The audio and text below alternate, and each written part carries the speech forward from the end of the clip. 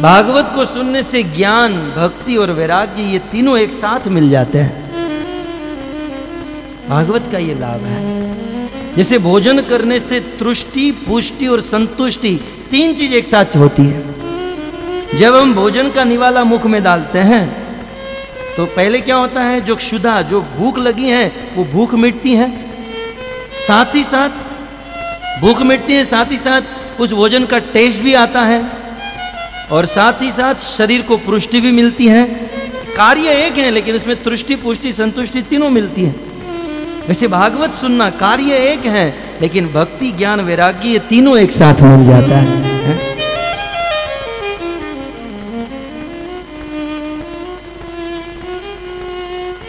तो ऐसे भागवत को ये भागवत की महिमा अब तक बताई गई तो कहते, ठीक है, भागवत महिमामय है, उसको रहने दो, अपने स्थान पर, हम रहे अपने स्थान पर।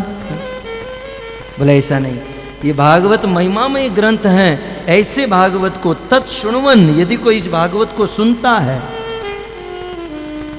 तत् विपठन यदि इस भागवत को कोई पढ़ता है तत् विचारणन परो, और इस भागवत के प्रसंगों के ऊपर यदि कोई विचार करता है तो नरह व मनुष्य भक्त्या विमुचित व मनुष्य निश्चित इस जन्म के बाद भगवान के धाम वैकुंठ को प्राप्त कर लेता है। और इस पर शिल प्रभुपाद जी की असम अनुकंपा है, कृपा है कि ऐसी कलयुग की घोर परिस्थिति में भी भागवत का अध्ययन, श्रवण हम सब लोग कर रहे हैं। गत सत्र में सुखदेव गोस्वामी ने श्रवण कराया, किस प्रकार ब्रज वृंदावन में गोकुल में गोपियों के द्वारा शिकायत आने लगी। अनेकों प्रकार की शिकायत होती थी। इन शिकायत को सुनकर यशोदा मैया बड़ी चिंतित हो गई। बोले, अब कुछ करना होगा, मेरा लाला दूसरों के घर पर चोरी क्यों करता है? यशोदा सोचने लगी, आखिर क्या कमी है मेरे घर पर? सोचते सोचते सोचते यशोदा के मन में यह उत्तर मिल गया। बोले, मेरे घर पर जो माखन बनता है, ये माखन मेरे दास और दासिया बनाते हैं। आज तक मैंने अपने हाथों से माखन नहीं बनाया। वो तो नंदरानी है, राजा की पत्नी है। तो मैंने अपने हाथों से माखन नहीं बनाया। और न जाने मेरे ये दास दासिया किस भाव में माखन बनाते होगे, और कृष्ण तो भाव के भूखे हैं। भाव ग्रही जनार्दन, द्रव्य के भूखे नहीं है हमारे भगवान। गीता में कह दिया, पत्रम पुष्पम फलम तोयम। ड्राई फ्रूट मिल्क शेक न दो, कोई बात नहीं है। बड़े बड़े छप्पन भोग न दे सको तो कोई बात नहीं, लेकिन पत्र, एक पत्र चढ़ा दो, पुष्प दे दो, फल दे दो। यदि कोई कहे, फल कितना महँगा है, जानते हो? फल दे दो, फल दे दो गीता में कहते रहते हो। कृष्ण ने कहा, ठीक है भाई, फल नहीं दे सकते हो तो तोयम पानी दे दो। तोय माने पानी ज़्यादा नहीं मांगा, लेकिन एक शर्त रख दी कि ये जो भी दोगे, यो में भक्तिया प्रयचति प्रेम से दो भाव से। यदि कोई भाव से भगवान को जहर भी दे देते ना तो खा लेते हैं।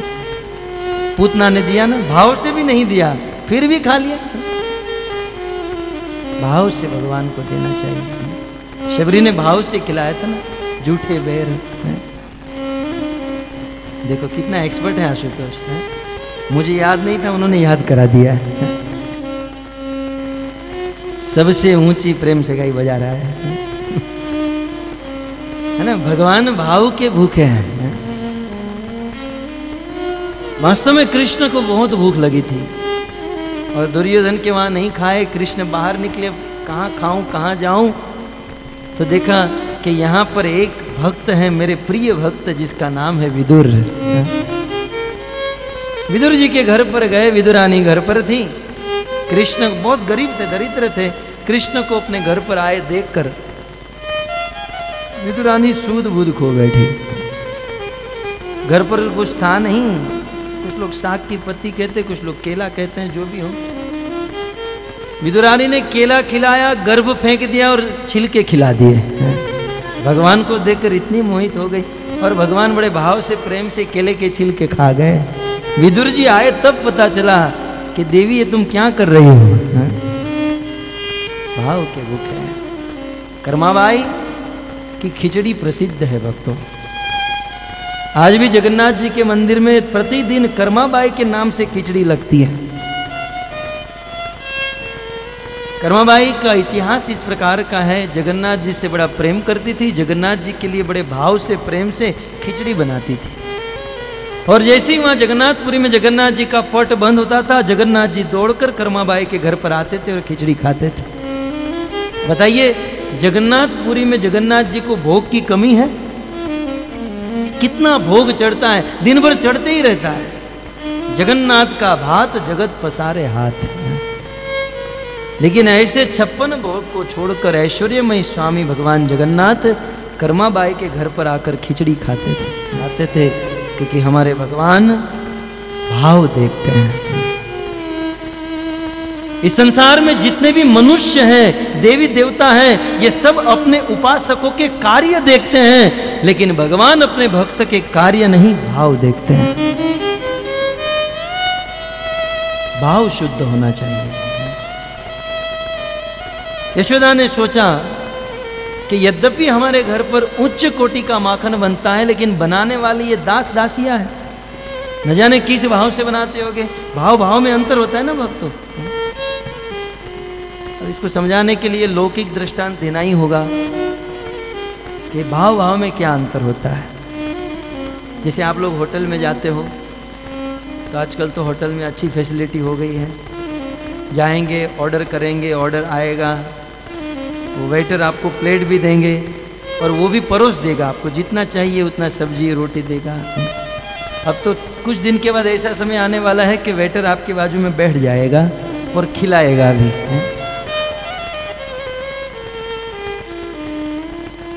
पाचन तो करा नहीं सकते हैं तो वो भी समय आने वाला था कि भाई चलो पचा भी देगा आपका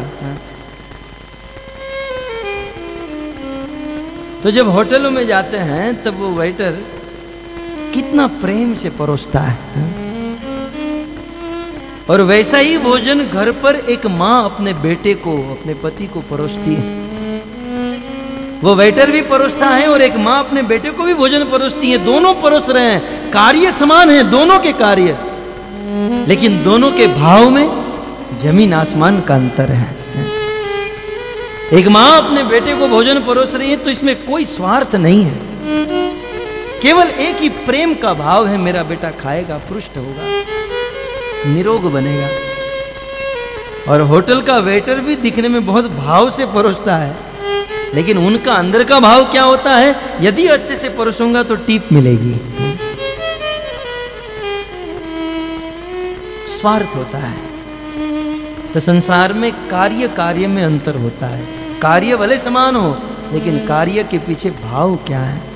भगवान भाव देखते हैं। यशोदा को यह बात पता चली कि मेरे घर पर माखन तो उच्च कोटि का है, लेकिन ठीक भाव से बनता नहीं होगा। इसलिए मेरे घर का न खाकर गोपियों के घर की चोरी करके खाता है, क्योंकि गोपियाँ अपने हाथों से बनाती थी। तब यशोदा ने अब निर्णय ले लिया, अब ये माखन जो है मैं मेरे हाथों से बनाऊँगी। तो यशोदा एक दिन अपने हाथों से माखन बनाने बैठी है। सुखदेव गोस्वामी भागवत के दसम स्कंद के नवम अध्याय में यह कथा प्रारंभ करते हैं। एकदा गृहदा शिशु यशोदानंद गेहिनी कर्मांतर नियुक्ताशो निर्ममन्थ स्वयं दधी। निर्ममन्थ स्वयं दधी। एक समय की बात, किस समय की बात है? दिवाली के दिन की यह बात है। ये सब सोचते सोचते दिवाली का दिन आ गया। बोले, दिवाली के दिन यशोदा मैया, नाम है यशोदा। यशोदा का अर्थ होता है यश माने कीर्ति। यश माने सम्मान दा माने देना। जो दूसरों को मान, सम्मान और यश दे, उसे यशोदा कहा जाता है। और जो दूसरों को मान देना सीख गया तो भगवान उनके घर पर पुत्र बनकर प्रकट हो जाते हैं, जैसे यशोदा के पुत्र बन गए। चैतन्य महाप्रभु ने कहा, अमान इन, मान देन कुछ लोग बोलते रोज हैं, लेकिन करते इनमें से कुछ नहीं। मान की आशा न रखे और दूसरों को मान प्रदान करे। यदि ऐसा करोगे तो ही सदा हरि कीर्तन कर पाएँगे। एक दिन यशोदा मैया दिवाली के दिन गृह दासी शु अपने घर पर जितनी भी दासियाँ थी, ये दास दासियों को अन्य अन्य कार्यों में नियुक्त कर दिया। और निर्ममंत स्वयं ददी और यशोदा स्वयं खुद कृष्ण के लिए माखन बनाने के लिए बैठ गई बहुत सुंदर। दिवाली का दिन होने के कारण यशोदा ने सुंदर वस्त्र धारण किए हैं। भगवान की सेवा करते समय वस्त्र की भी बड़ी महिमा है। पवित्र वस्त्र पहनकर भगवान के लिए भोजन बनाना चाहिए। कुछ लोग तो रात को जो नाइटी पहनते हैं, वही पहनकर किचन में घुस जाते हैं और शुरू कर देते हैं प्रसाद बनाना। सब भागवत में वर्णन है कि बहुत सुंदर रेशमी वस्त्र धारण किया था। रेशमी वस्त्र पवित्र माना जाता है। रेशम और ऊन कभी अपवित्र नहीं होते हैं। इसलिए इन वस्त्रों के आसन भी बनते हैं और वस्त्र भी पहने जाते हैं। तो रेशमी वस्त्र यशोदा ने धारण किए थे। मेरे लाला के लिए माखन जो बनाना है। तो यशोदा मैया पिछले दिन रात को एक बहुत बड़े मटके में दूध को जमा कर रखी थी और आज दूध बिल्कुल जम गया है। बहुत सुंदर दही बन चुका है। पहले के जमाने में ग्राइंडर तो था नहीं कि इलेक्ट्रिसिटी से तुरंत माखन बन जाए। बहुत सुंदर विधि हुआ करती थी। उस मटके में मंथानी रखी गई और रस्सी बांधी गई और एक पिलर के पास वहाँ पर बैठ गई। और रस्सी को खींचकर उस मंथानी को घुमा रही हैं। और उस दही का माखन बन रहा है। यशोदा मैया, जीवन में प्रथम बार ये कार्य कर रही है। रानी है ना? तो ये सेवक ही कार्य करते थे। आज स्वयं जीवन में प्रथम बार। और वो भी सुबह ब्रह्म मुहूर्त में जग चुकी है। स्त्रियों का यह धर्म है कि अपने घर में अपने बच्चे और अपने पति से पहले जग जाए। देखिए, यहाँ पर बहुत सारे सिद्धांत हैं। मैं तो ले नहीं रहा हूँ। मैं तो केवल प्योर कृष्ण कथा ही बोलते जा रहा हूँ गृहिणी कहा गया यशोदा को शिल प्रभुपाद जी ने भागवत के प्रथम अध्याय में लिखा है कुछ लोग तो प्रचार करना नहीं जानते व्यासपीठ पर बैठ जाते हैं और सीधा व्यासपीठ पर बैठकर सर्वधर्मान परित्यज अरे तू छोड़ना दुनिया को छुड़ा रहा है, है? सर्वधर्मान परित्यज माम एकम शरणम ब्रज भगवान ने कहा सब कुछ छोड़ो छोड़ो कहाँ छोड़ो? और कृष्ण ने कहा तो भी अठारहवें अध्याय में एंड में कहा, अभी तो शुरू हो रहा है तुम्हारा, है? कभी किसी को छोड़ने का नाम नहीं लेना चाहिए। और शिल प्रभुपाद ने लिखा है कि एक स्त्री को अपने घर के कामकाज में ध्यान देना चाहिए।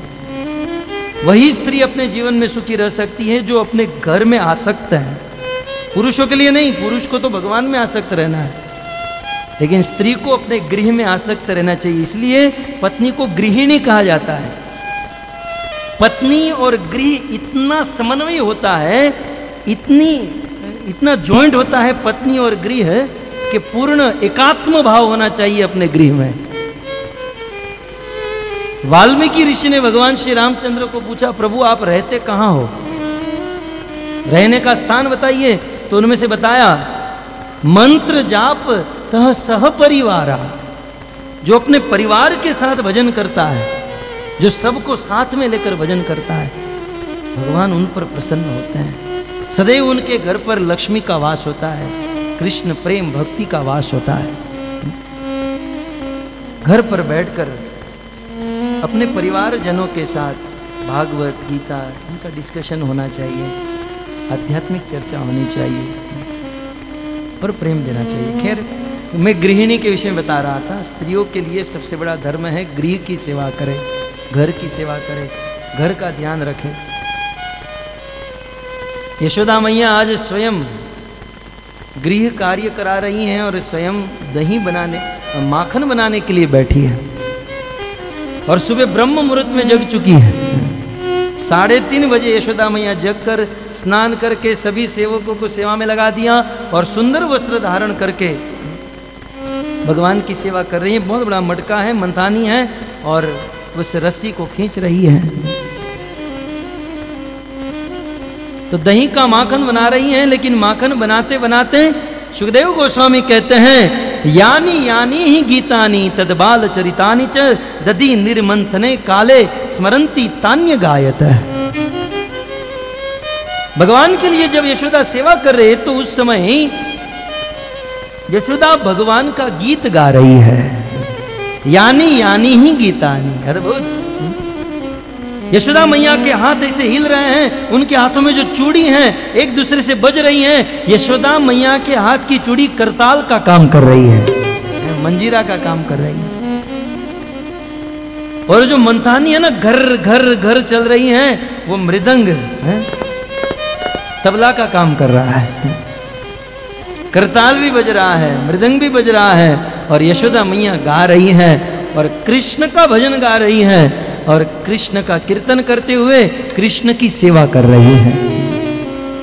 यही शास्त्र का सिद्धांत है। और जो मंथानी है ना, घर घर घर चल रही हैं, वो मृदंग है। तबला का काम कर रहा है। करताल भी बज रहा है, मृदंग भी बज रहा है, और यशोदा मैया गा रही हैं और कृष्ण का भजन गा रही हैं और कृष्ण का कीर्तन करते हुए कृष्ण की सेवा कर रही हैं। यही शास्त्र का सिद्धांत है। यही जीवन है।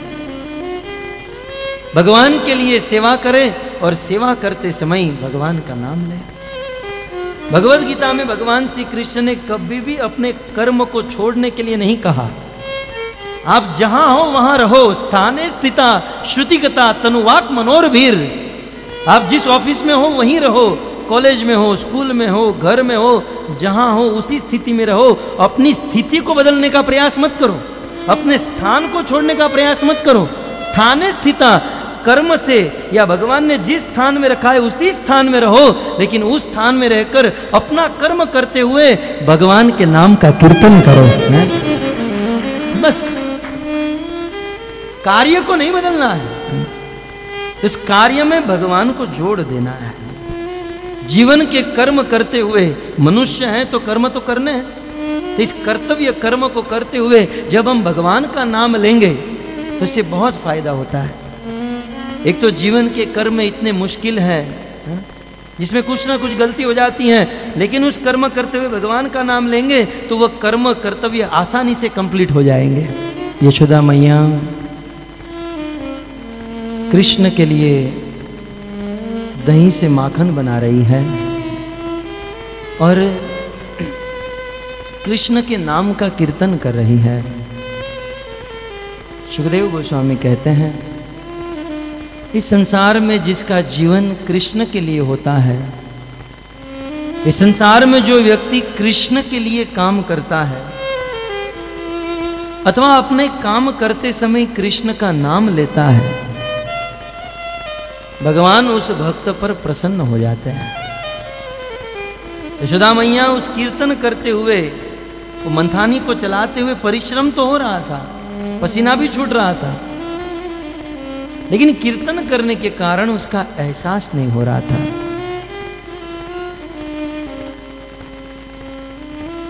सुखदेव जी वर्णन करते हैं, उस समय यशोदा के बालों में मालती के फूल थे। वो कीर्तन करते हुए, माखन बनाते हुए वो फूल एक एक करके गिर गए। हरीश्वरी जी ने लिखा है, आध्यात्मिक जगत के फूल भी चिन्मय होते हैं। आध्यात्मिक जगत के फूल भी सोचते हैं। खैर, आज का मानव भी सोचता नहीं है, लेकिन वहाँ के तो फूल भी सोचते हैं। यशोदा के मस्तक में रहे हुए फूलों ने सोचा कि आज यशोदा कृष्ण के लिए कार्य कर रही है।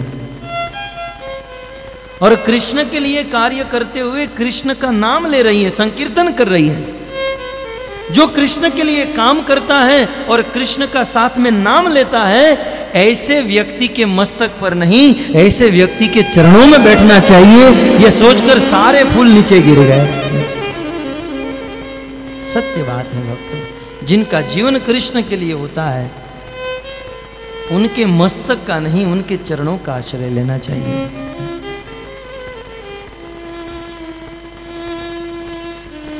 और यशोदा मैया के इस कर्म से भगवान प्रसन्न हो गए। यद्यपि कृष्ण अंतपुर में सो रहे थे, कृष्ण जग गए। बाल्य अवस्था में है जगते ही माँ को ढूँढने लगे, भूख लगी थी।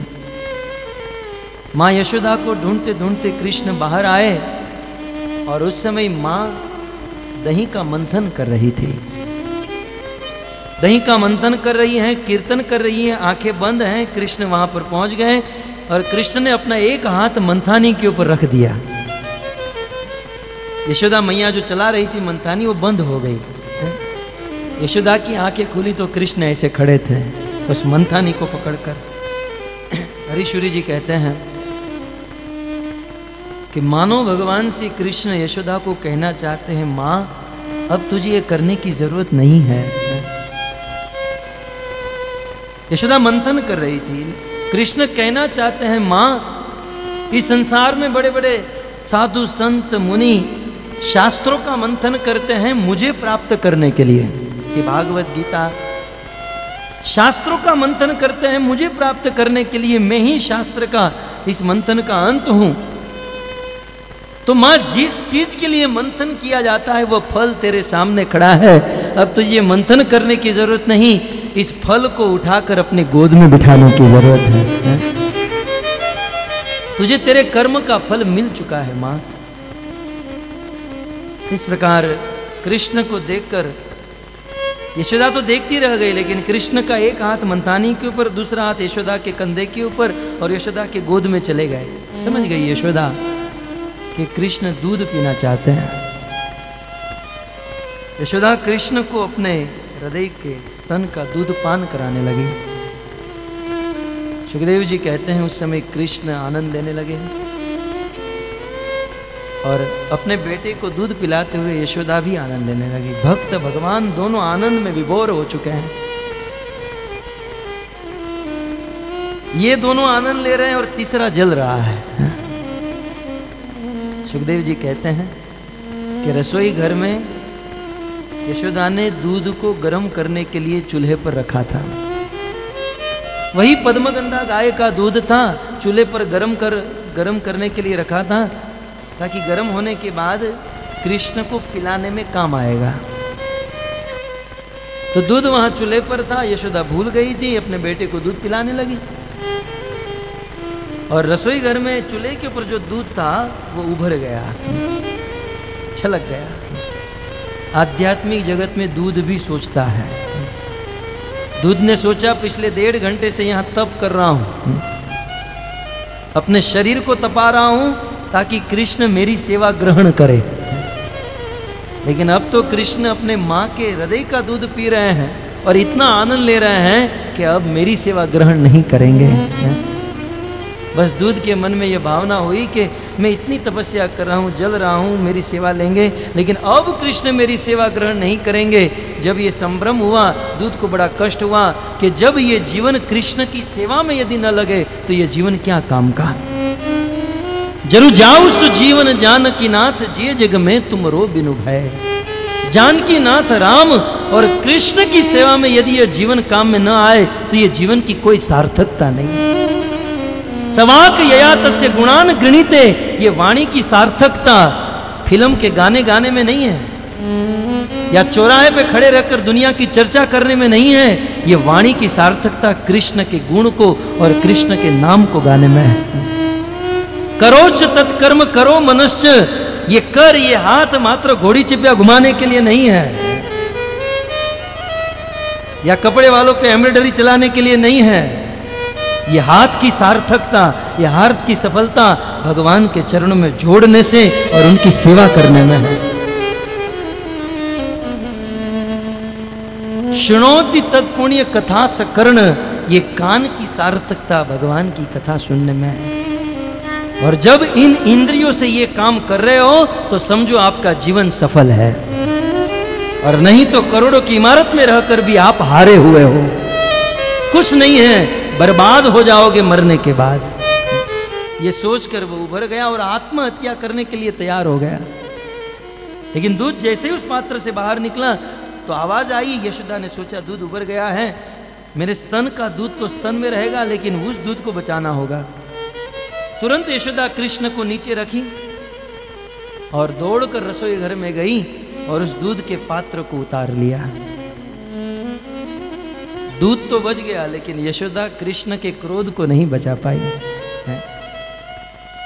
कृष्ण बड़े प्रेम से यशोदा का दूध पी रहे थे, लेकिन छोड़कर जब चली गई, कृष्ण को बड़ा क्रोध हुआ। बोले, लो, इस घर में मेरी कोई वैल्यू ही नहीं अखिल ब्रह्मांड नायक पर ब्रह्म अपने इतने बड़े ऐश्वर्य को, वैकुंठ को छोड़कर इसके घर पर आया और ये पचास रुपया लीटर दूध के लिए मुझे छोड़कर चली गई। कृष्ण को बड़ा क्रोध आया। और उस समय कृष्ण ने सोचा कि आज तो मैं दिखा कर रहूँगा। क्या करूँ क्या करूँ? बोले, सुबह से इस मटके में मेहनत कर रही है। कृष्ण की दृष्टि उस मटके के ऊपर गई, बाजू में एक पत्थर पड़ा था। उस पत्थर को उठाकर उस मटके को फोड़ दिया। जैसे ही उस मटके को फोड़ा तो अंदर से छाछ, दही, माखन, ये सब बहने लगा। जब बहने, मटका बहुत बड़ा था और जब बहने लगा, तब कृष्ण को भयंकरता का एहसास हुआ कि गलती तो हो गई है। लेकिन अब करे तो क्या करे? भागो यहाँ से। माँ आएगी, देखेगी तो मुझे डांटेगी। तो कृष्ण भागने लगे, लेकिन कहाँ भागू? कहाँ जाऊँ? कहाँ छिपू? सुखदेव जी कहते हैं, दो कदम में पूरे ब्रह्मांड को नापने वाले भगवान आज सोच रहे मैं कहाँ भागू? कितना माधुर्य है भगवान का। कितनी सुंदर लीला है। भक्तों के मन को हरने वाले। कहाँ भागू? कहाँ भागू? फिर भी भाग रहे थे। भागते भागते उनके चरण वो छाछ में दही में गिर रहे थे। और चरण की छाप बिल्कुल क्लियर दिखाई दे रही थी। लेकिन ये समझ चुके हैं कि मैं छिप गया हूँ, मुझे कोई पकड़ नहीं पाएगा। यशोदा दूध को बचाकर जब बाहर आई, देखा मटका फूटा हुआ है। पहले तो हँसी आई कि लड़का है तो बुद्धिमान क्योंकि मटका जो था बिल्कुल नीचे से फोड़ा था ताकि एक बूंद भी न बचे थोड़ा बहुत ऊपर से फोड़ा होता तो कुछ तो बचे। बोले, है तो बुद्धिमान, लेकिन काम तो इसका गलत है। अब तक जो गोपियों की शिकायत आई थी, यशोदा को ठीक से कंफर्म नहीं हुआ था कि वास्तव में कृष्ण ऐसा होगा। लेकिन आज जब अपने घर पर मटका फोड़ा तो यशोदा को कंफर्म हो गया कि जो अपने घर पर फोड़ सकता है दूसरों के घर पे क्या नहीं कर सकता है। बोले, अब तो मुझे इसे सबक सिखाना पड़ेगा। तुरंत यशोदा ने अपने हाथ में छड़ी ले ली। और कृष्ण को ढूँढने लगी, कहाँ है? कृष्ण पर्दे के पीछे उखल के ऊपर छिप गए थे, जैसे ही पर्दा हटाया, कृष्ण उखल से कूद गए। और उखल से कूद कर कृष्ण भागने लगे, कृष्ण आगे आगे, यशोदा पीछे पीछे। घर से निकलकर गोकुल की गलियों में भाग रहे हैं यशोदा पीछे पीछे भाग रही है। यशोदा और कृष्ण के बीच में केवल एक हाथ का अंतर है। ये पकड़ में आया, ये पकड़ में आया, ये पकड़ में आया। छोटे छोटे पाँव हैं छोटे छोटे चरण हैं, कृष्ण दौड़ रहे हैं, यशोदा का मोटा शरीर है, बिल्कुल थक रही हैं, बाल बिखर रहे हैं, पसीने से लथपथ हैं। कृष्ण आगे आगे भाग रहे, यशोदा पीछे पीछे और कृष्ण पीछे पीछे देखते देखते भाग रहे हैं कि कहाँ है, यशोदा अभी मुझे पकड़ लेगी। जब माँ कृष्ण के पीछे बहुत दौड़ी बहुत दौड़ी, कृष्ण ने देखा कि बहुत दौड़ने का प्रयास कर रही हैं। कृष्ण की गति धीमी हुई, यशोदा की गति तेज हुई। एक झटके में यशोदा ने कृष्ण को पकड़ लिया और पकड़ते ही यशोदा ने कृष्ण को छड़ी जैसे ही दिखाई तो कृष्ण रोने लगे। जैसे ही यशोदा ने कृष्ण को पकड़ लिया कृष्ण की अद्भुत छवि हो गई और वह छवि सत्यव्रत मुनि ने अपने दामोदर अक्षकम में लिख दी नमामीश्वरं सच्चिदानन्दरूपं लसत्कुण्डलं गोकुले व्रजमानम् नमामीश्वरं सच्चिदानन्दरूपं लसत्कुण्डलं गोकुले व्रजमानम् भक्तों यह सत्यव्रत मुनि के द्वारा लिखा गया दामोदर स्त्रोत है, जिसे भगवान अनंत है। भगवान अनादि हैं, वैसे ये दामोदर स्त्रोत भी अनादि है। ऐसा नहीं कि सत्यव्रत मुनि ने इसको लिखा है, इसको प्रकट किया है। जब से भगवान है, तब से ये दामोदर अष्टकम है। अनित्य नित्य है। इस दामोदर अष्टकम के विषय में श्री सनातन गोस्वामी लिखते हैं, कार्तिक महीने में यदि कोई व्यक्ति दामोदर अष्टकम गाता है और भगवान को दीप बताता है तो वह भगवान को अप्रिय बन जाता है। और पद्म पुराण के अनुसार आपके लिए कह दूँ भक्तों, द्वारिका नगरी में भगवान श्री कृष्ण अपनी पत्नी सत्यभामा के साथ बैठे थे। सत्यभामा ने कहा, प्रभु, मैंने पूर्व जन्म में ऐसा कौन सा कार्य किया था जिससे आज मुझे आपकी पत्नी बनने का सौभाग्य मिला? उस समय कृष्ण कहते हैं सत्य सत्यभामा, तुमने पूर्व जन्म में प्रतिदिन दामोदर अष्टकम गाया था और उस दामोदर अष्टकम गाने के कारण आज मेरी पत्नी बनने का सौभाग्य मिला. नमामीश्वरं सच्चिदानन्दरूपं लसत्कुण्डलं गोकुले व्रजमानम् आइए, भाव से। सच्चिदानंद रूपम गोकुले ब्रजमानम। भक्तों ये बहुत सुंदर स्त्रोत हैं। इस स्त्रोत को लिखने से पहले प्रथम शब्द में सत्यव्रत मुनि कहते हैं नमामि। हे प्रभु, मैं आपको नमस्कार करता हूँ प्रणाम करता हूँ। मानो नमामि शब्द के द्वारा भगवान को मंगलाचरण कर दिए। तो पूछा जाए कि आप किसको नमस्कार कर रहे हो? तो कहते हैं, सतचित आनंद रूपम। जो सतचित आनंद के स्वरूप है, और इतना ही नहीं, जो साक्षात ईश्वर है, भगवान है लीला बोलने से पहले सत्यव्रत मुनि सबको अवगत करा रहे हैं कि ध्यान रहे, मैं जिसकी लीला सुनाने जा रहा हूँ, वो अखिल ब्रह्मांड नायक परम ईश्वर, साक्षात भगवान है लीला कुछ ऐसी है कि समझ में नहीं आएगी, क्योंकि इस लीला में वो रोएँगे, धोएँगे, बहुत कुछ होगा?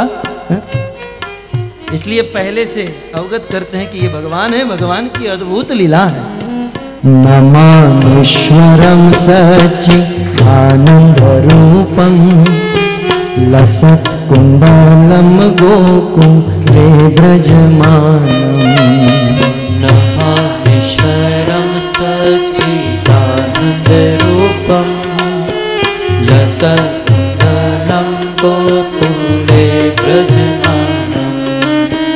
वशोदा वियो लोक नाटवमानं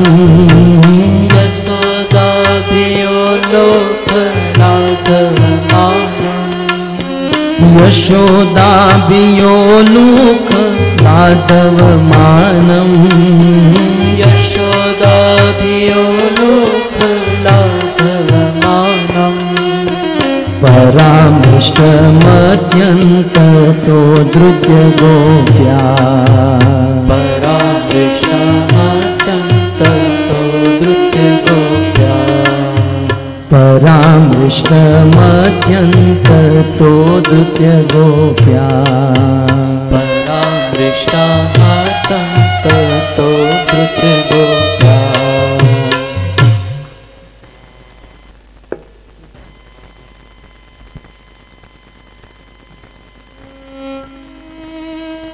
कृष्ण गोप गोकुल की गलियों में भाग रहे हैं और कृष्ण से तेज दौड़कर यशोदा ने उनको पकड़ लिया। जैसे ही यशोदा ने पकड़ लिया, यशोदा के हाथ में छड़ी देखकर कि अभी ये यशोदा मुझे मार देगी, कृष्ण के को संभ्रम हुआ। यशोदा के हाथ में छड़ी देखकर भगवान रोने लगे हिरणाकश्यप को फाड़ने वाले 21 बार नक्षत्री करने वाले दो कदम में ब्रह्मांड नापने वाले शुक्र अवतार लेकर हिरणाश को मारने वाले इतने इतने पराक्रम हैं, लेकिन मैया के सामने कृष्ण तो छोटे से बालक हैं। और मैया के हाथ में छड़ी देखकर कृष्ण रोने लगे। भगवान जब रो रहे थे तो कैसे दिख रहे थे? सत्यव्रत मुनि कहते हैं रुदन्तमुहुर्नेत्रं युग्मं रिजन्तं परां सातङ्कनेत्रम् सातङ्कनेत्रं। रुदम्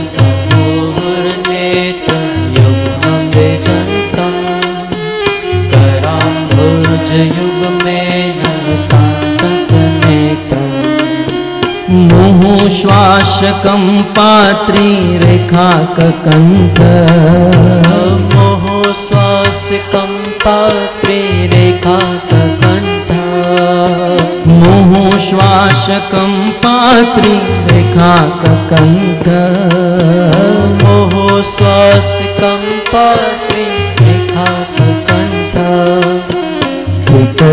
स्थितदेव दामोदरं भक्तिबद्धम् स्थितदेवतामोदरं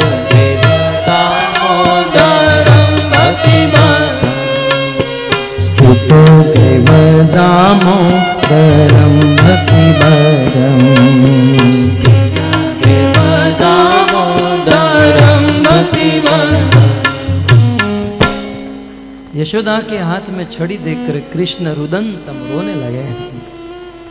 रुदंतम मुहुर नेत्रम, बार बार अपने नेत्र को मसल रहे हैं। युग्मम मृजंतम अपने दोनों आँखों को कराम भोज, दोनों कर से, दोनों हाथों से मसल रहे हैं। और नेत्रों को मसलने के कारण यशोदा मैया ने जो काजल लगाई है, वे काजल पूरे आँखों में बिखर रही है। और आज लाला को इतना रोना आ रहा है। कहते हैं मुँह श्वास छोटे छोटे बच्चे जब बहुत रोते हैं तो सांस चढ़ जाती है। तो आज कृष्ण को इतना रोना आ रहा था, सांस चढ़ रही थी। आज कृष्ण को बहुत रोना आ रहा था। रोना इस बात का आ रहा था कि जो माँ मेरा लालन पालन करती थी, मुझे दूध पिलाती थी, आज हाथ में छड़ी लेकर आज से हमारा संबंध टूट गया। आज से मुझे प्रेम नहीं करेगी, ये रोना आ रहा था। तो सांस चढ़ रहा था और उस समय कृष्ण के गले में तीन रेखा है, त्रिकंठ। जैसे शंख में रेखाएँ होती हैं जैसे कृष्ण के गले में सुंदर तीन रेखा है। गले में ये रेखा भी सुंदरता का प्रतीक है।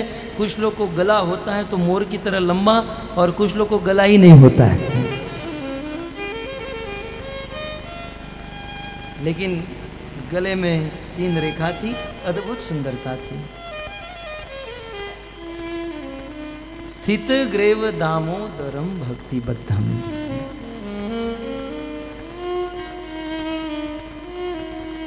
यशोदा कृष्ण को पकड़ ली और कहने लगी कृष्ण को रोते हुए देखकर यशोदा ने अपने हाथों से छड़ी को फेंक दिया।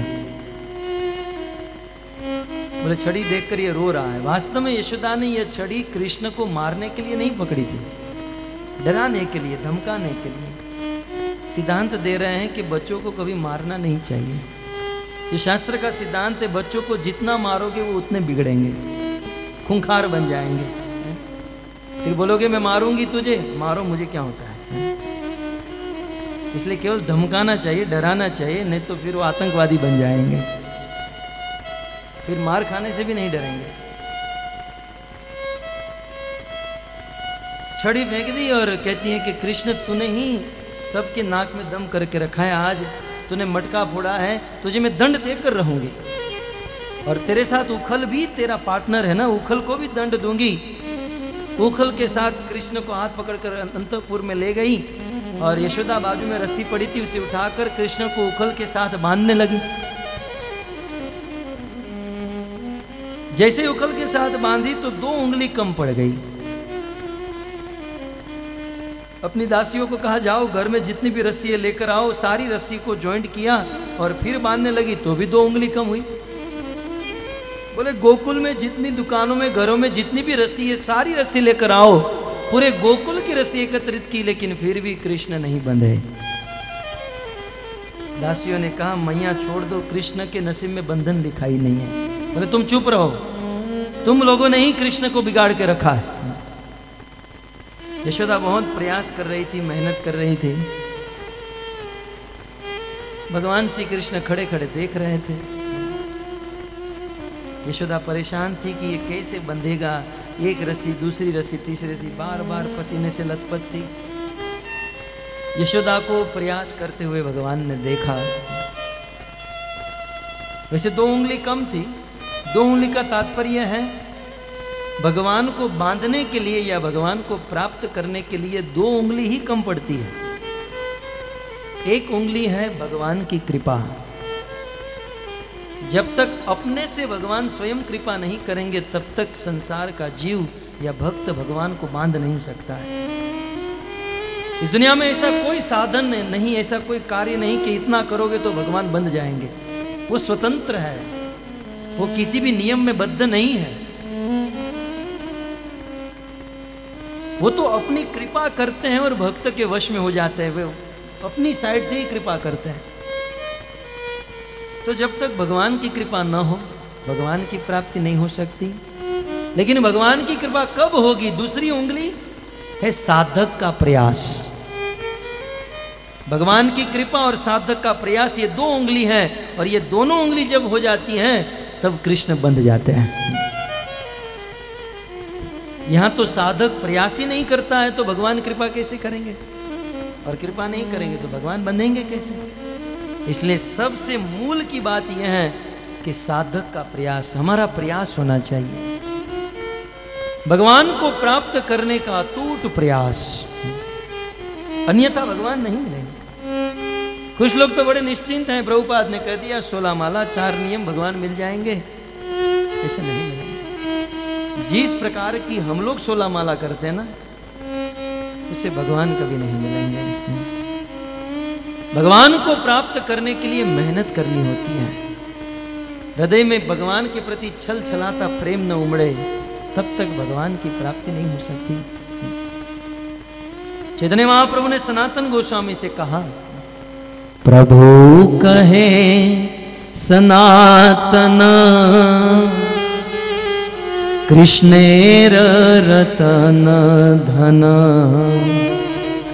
प्रभो कहे सनातन। कृष्णेरतनधन अनेक जतन मिला। अनेक जतन मिला।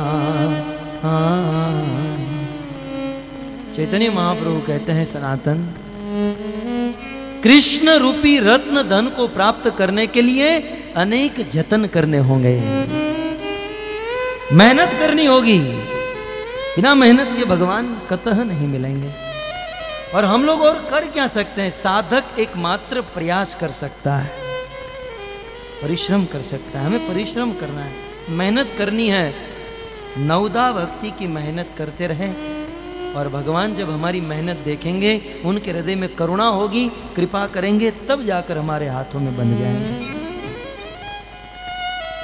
दो उंगली कम पड़ रही थी, कृष्ण ने देखा कि मैया यशोदा बहुत प्रयास कर रही है। सर्व शास्त्र का सिद्धांत सुखदेव गोस्वामी ने एक श्लोक में दे दिया। दृष्टवा परिश्रमम कृष्ण, कृपया आसित स्वबंधने। कृष्ण ने देखा कि मैया यशोदा बहुत परिश्रम कर रही है। यशोदाया परिश्रम दृष्टवा, यशोदा के परिश्रम को देखकर कृपया आसित स्वबंधने कृष्ण उस यशोदा के बंधन में आ गए, बंध गए। बाँध लिया यशोदा ने कृष्ण को। हम भी यदि कृष्ण को बांधना चाहते हैं तो मेहनत करनी चाहिए। क्या मेहनत? सत्संग की मेहनत। नवदा भक्ति, मंगला आरती में जगने की मेहनत। सुबह ब्रह्म मुहूर्त में सोलह माला जाप करने की मेहनत। साधु संतों की सेवा, ये सब मेहनत जब तक नहीं करेंगे, भगवान नहीं मिलेंगे। यशोदा ने कृष्ण को बाँध लिया। बन गए कृष्ण और रोने लगे हैं। क्या कृष्ण को वास्तविक हृदय से दुख हो रहा है? नहीं नहीं, वो तो अंदर से रो रहे हैं। बाहर से रो रहे हैं और अंदर से तो आनंद प्राप्त कर रहे हैं। इति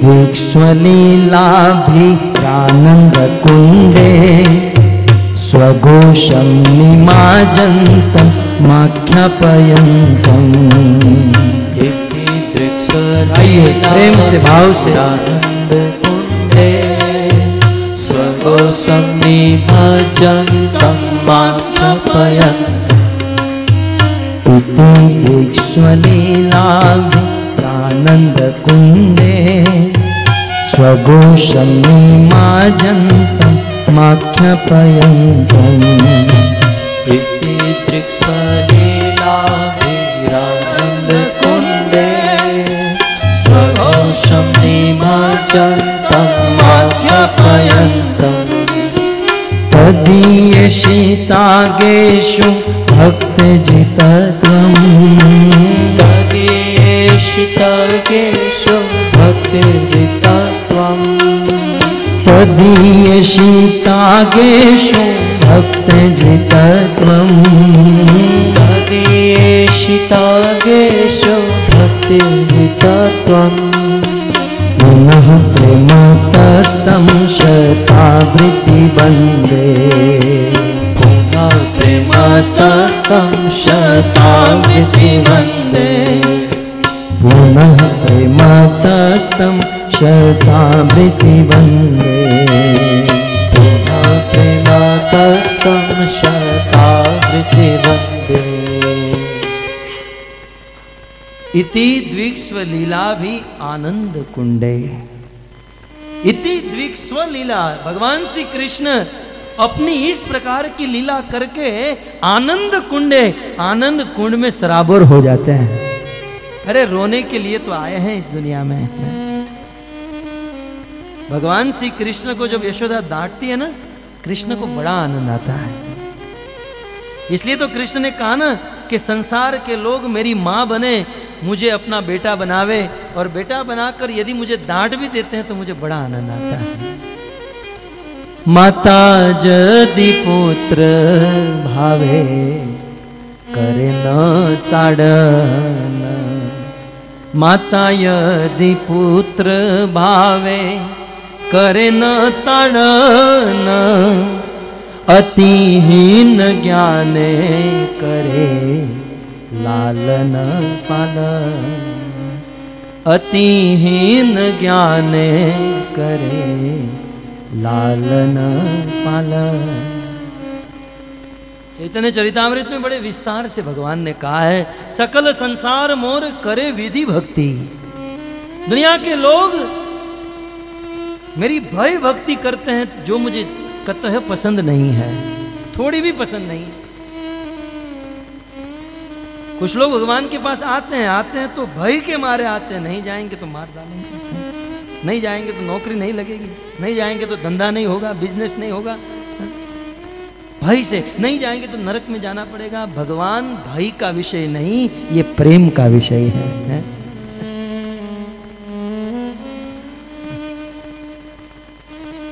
भगवान प्रेम का विषय इसे प्रेम करना चाहिए। भगवान चाहते हैं कि लोग मुझे प्रेम करें। जब हम भगवान को भगवान कहते हैं ना उनको कतः आनंद नहीं आता है। हम 10 साल 15 साल से भजन भक्ति करते हैं, लेकिन भगवान के साथ संबंध नहीं तो कोई फल नहीं।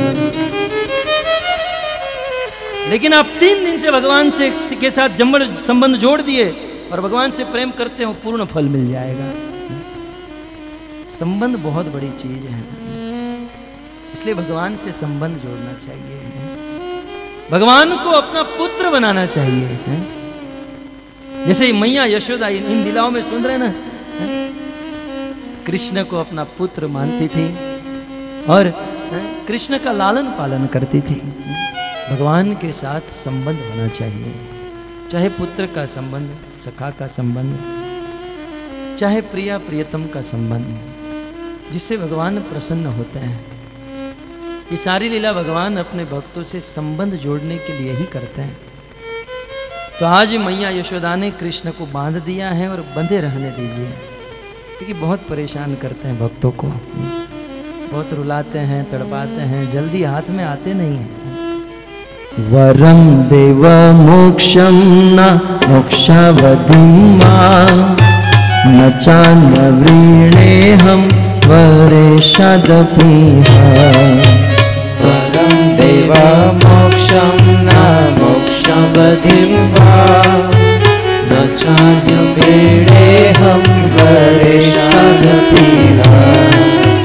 वरं देव मोक्षं न मोक्षावधिं वा। न चान्यवीणेऽहं वरे षदति वरं देव मोक्षं न वा।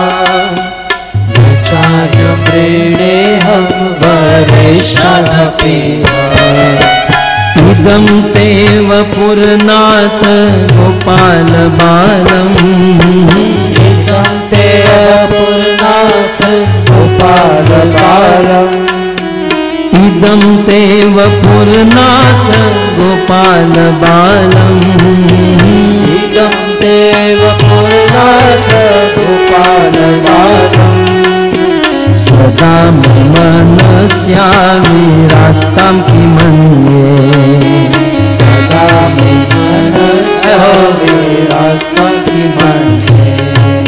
सदा मे मनस्याविरास्तां किमन्ये। सदा मे मनस्य विरास्तं किमन्ये। वरम देव मोक्षम न मोक्षाम बधिम जब भगवान ने कहा, सत्यव्रत, मांगो, जो चाहिए वो मांगो। तो उस समय सत्यव्रत ऋषि ने कहा कि, प्रभु, आप तो वरदान देने में सर्वश्रेष्ठ हो।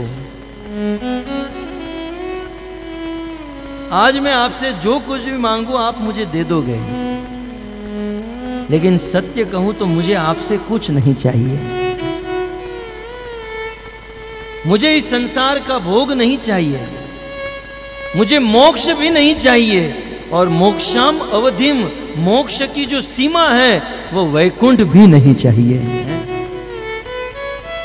यह है भक्तों का भाव। है भगवान कपिल देव ने कहा ना, सायुज्य सालों के सामीप्य दिय मानव न गृणंती भगवान अपने भक्तों को मुक्ति तक देने के लिए तैयार हो जाते हैं, लेकिन भक्त वह मुक्ति भी ठुकरा देते हैं।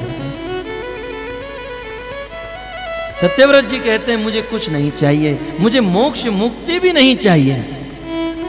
भगवान ने कहा, कुछ तो मांगो, सत्यव्रत, कुछ तो मांगो। जब बार बार कहा, तब सत्यव्रत जी एक चीज़ मांगते हैं, प्रभु, यदि आपको देना ही है तो इदम इदम माने उंगली बताकर कहते हैं, ये जो ते, ये जो आपका वपु वपु माने शरीर ये जो आपका रूप है ना, प्रभु आप उखल के साथ बंधे हुए हो और रो रहे हो इदम ते वपुर नाथ गोपाल बालम। ये बाल गोपाल, ये दामोदर का रूप सदा में मनस्य विरास्ताम किमन ये? ये आपका बाल गोपाल स्वरूप सदा सदा के लिए मेरे मन में टिका रहे, ऐसा आशीर्वाद दे दीजिए और बस ये बाल गोपाल मेरे मन में रहे, आपकी ये छवि मेरे मन में बसी रहे। इसके अलावा मैं और कुछ नहीं चाहता हूँ, प्रभु। अंत में एक शब्द कह दिया, किम अन्य? और इस स्वरूप को मन में टिकाए रखना, इस चीज़ को छोड़कर दुनिया की कुछ भी वस्तु मिल जाए तो उसे क्या लाभ होगा? है? कितना हूँ धन संपत्ति मिल जाए, क्या लाभ होगा? भगवान की लीला और इन स्वरूप को छोड़कर। है? वास्तविक धन तो भगवान की लीला है। भक्तों इस दसम अध्याय में आगे चलकर एक बहुत सुंदर लीला आती है। गोकुल में एक बार एक फल बेच, बेचने वाली आई। फल ले लो फल ले लो करते हुए। और कृष्ण को फल बहुत पसंद है। पत्रम पुष्पम फलम तोयम। कृष्ण ने सुंदर फल को देखा अपने घर पर गए। यशोदा को कहा मैया फल चाहिए थोड़े अनाज के दाने दे दो। मुट्ठी भरकर अनाज लेकर कृष्ण उस फल खरीदने के लिए गए। एक तो छोटी सी मुट्ठी, उसमें भी अनाज गिरते जा रहे थे। जब तक पहुँचे, दो पाँच दाने बचे होंगे। और कहा कि ये दाना रखो, मुझे फल दो। लेकिन फल वाली कृष्ण की सुंदरता के ऊपर इतनी मोहित हो गई। फल वाली ने कहा कि, बेटा, कृष्ण, कितने फल चाहिए? जितना चाहिए, उतना रख लो। कृष्ण अपना हाथ और सब कुछ भरने लगे, सारी टोकरी खाली हो गई। यदि आज का कोई होता तो कहता, बोनी का समय है। आज ही कह रहा था।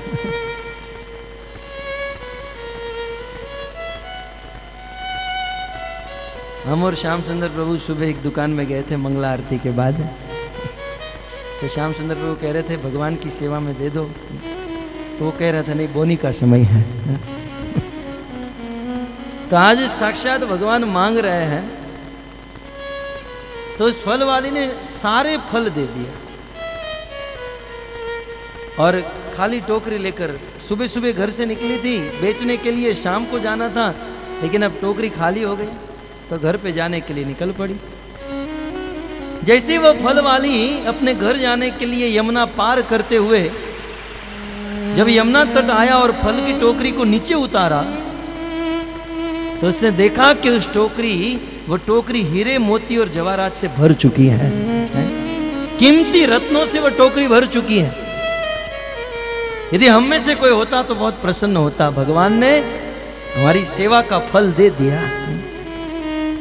लेकिन भक्तों भागवत का यह सिद्धांत भागवत की यह कथा है उस समय फल वाली के हृदय में बड़ा कष्ट हुआ।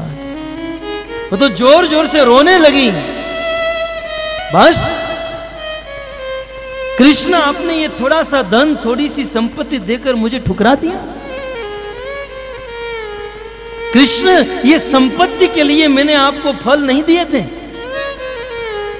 कृष्ण, ये धन संपत्ति के लिए मैंने आपकी सेवा नहीं की थी। कृष्ण, मैंने आपसे प्रेम किया है और प्रेम के बदले प्रेम चाहिए, पैसा नहीं चाहिए, है? आज तो लोग भगवान का भजन भक्ति करते हैं, प्रेम करते हैं भगवान से, और भक्ति के बदले पैसा चाहते हैं। ये तो घाटे का धंधा है, ये लॉस का धंधा है। इतना बड़ा प्रेम, इतना भजन करके यदि कोई पैसा मांगे तो ये तो बहुत बहुत लॉस है आपकी भक्ति का और जीवन का। हलवानी ने कहा कि मैंने आपसे प्रेम किया है। प्रेम के बदले प्रेम पैसा नहीं, है? उसी समय फल वाले ने वो टोकरी उठाकर वो कीमती हीरे मोती जवेरात थे यमुना में फेंक दिए। मुझे ये नहीं चाहिए। कृष्ण, मुझे आपसे कुछ नहीं चाहिए, मुझे तो आप चाहिए मुझे तो आप चाहिए।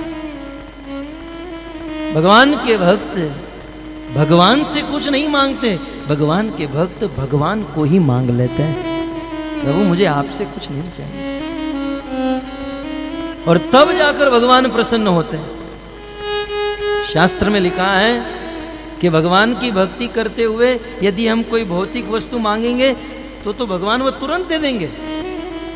क्योंकि भगवान किसी के हाथों में बंधना नहीं चाहते हैं। कौन आदमी परतंत्र बनना चाहेगा? भक्ति करते हैं, प्रेम करते हैं और प्रेम के बदले तो कुछ वस्तु मांग लेते तो भगवान वो वस्तु देकर छूट जाते हैं। चलो, मैं तो बच गया। थोड़ी सी वस्तु देकर मैं तो छूट गया। लेकिन बुद्धिमान व्यक्ति भगवान कुछ भी दे, न धनम, न जनम, न सुंदरी, कविताम वा जगदीश कामये। मम जन्मनि जन्मनीश्वरे भवताद भक्तिर अहेतुकित वही मुझे धन नहीं चाहिए, संपत्ति नहीं चाहिए। मुझे तो मात्र आपकी भक्ति, आपका प्रेम चाहिए? तो वक्त तो इस प्रकार। सत्यव्रत मुनि ने भगवान खड़े हैं सामने और कहते हैं, मांगो कुछ नहीं मांगा इतिहास खोलकर देख लीजिए, जितने भी शुद्ध भक्त हुए, चाहे देवी कुंती हो, या वृत्रासुर हो, या फिर रामायण का केवट हो, भगवान इन सबको देने के लिए तैयार थे। लेकिन इनमें से किसी ने भी भगवान से कभी भी कुछ नहीं मांगा। जब मांगना हुआ तो भगवान का प्रेम मांगा। उनका दर्शन मांगा। तो सत्यव्रत मुनि भगवान से प्रेम मांग रहे हैं। कहते हैं, प्रभु, आपका, आपकी ये जो बाल गोपाल की छवि है, सदा में मनुष्य विरासताम मेरे मन में सदा के लिए विराजमान रहे ऐसा आशीर्वाद दीजिए। भगवान ने कहा, क्यों? मेरी छवि को अपने मन में रखकर क्या करोगे? बोले, प्रभु, आनंद आएगा। बोले क्यों आनंद आएगा? बोले प्रभु, आपकी छवि इतनी सुंदर जो है भगवान ने कहा अच्छा मैं सुंदर हूँ, मेरी सभी छवि सुंदर है। बताओ मेरी सुंदरता क्या है? तब सत्यव्रत ने एक और पद लिख दिया। इदम ते मुखाम्बोज अत्यंत नीले ऋतं कुन्तले स्निग्ध रक्तिश्च गोप्या।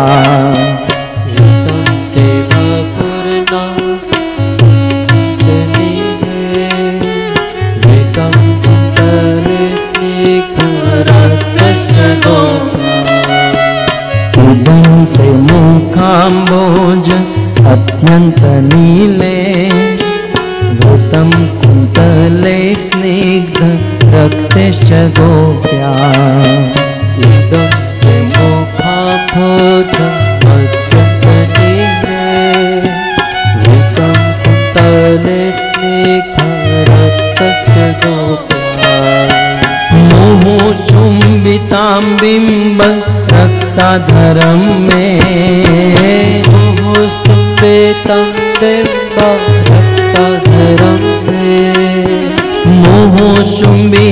मुहुचुम्बितां बिम्ब रक्ताधरं मे। मुहुसुम्बेतं बिम्ब रक्तधरं मे मनस्या वीरास्ता मालं लक्षलाभे मनस्य वीरास्तामलं लक्ष्यलाभे मनस्या वीरास्ता मालक्ष्य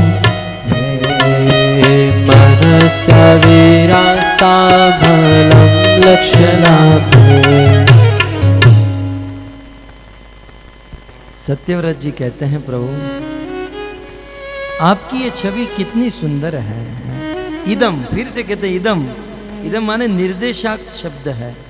निर्देशन कर रहे हैं, इदम, ये जो आपकी छवि है, इदम ते मुखाम्बोज अत्यंत निलय। प्रभु आपका ये नीले, आपका ये बहुत सुंदर नीले वर्ण का शरीर, घनश्याम वर्ण का ये अद्भुत शरीर, और उसमें भी ये आपका सुंदर मुख कमल? आपका ये प्रसन्न चेहरा? और इस चेहरे के ऊपर सुंदर सुंदर घुंघराले बाल? वृतम कुंतले कुंतले माने बाल, केश स्निग्ध बहुत सुंदर सॉफ्ट आपके ये बाल हैं। और गोपिया गोपिया माने यशोदा के द्वारा मुहुस चुंबितम बार बार आपके इस मुख को चुंबन किया जाता था। यशोदा बार बार अपने लाला के मुख का चुंबन करती थी। क्यों नहीं करेगी? आज की माँ अपने साधारण बालक को हाँ, जो पंच महाभूत से बना हुआ है जिसका शरीर नाशवंत है। फिर भी अपने छोटे से बालक की सुंदरता को देखकर उनको चूमती हैं, उनसे लाड़ करती हैं।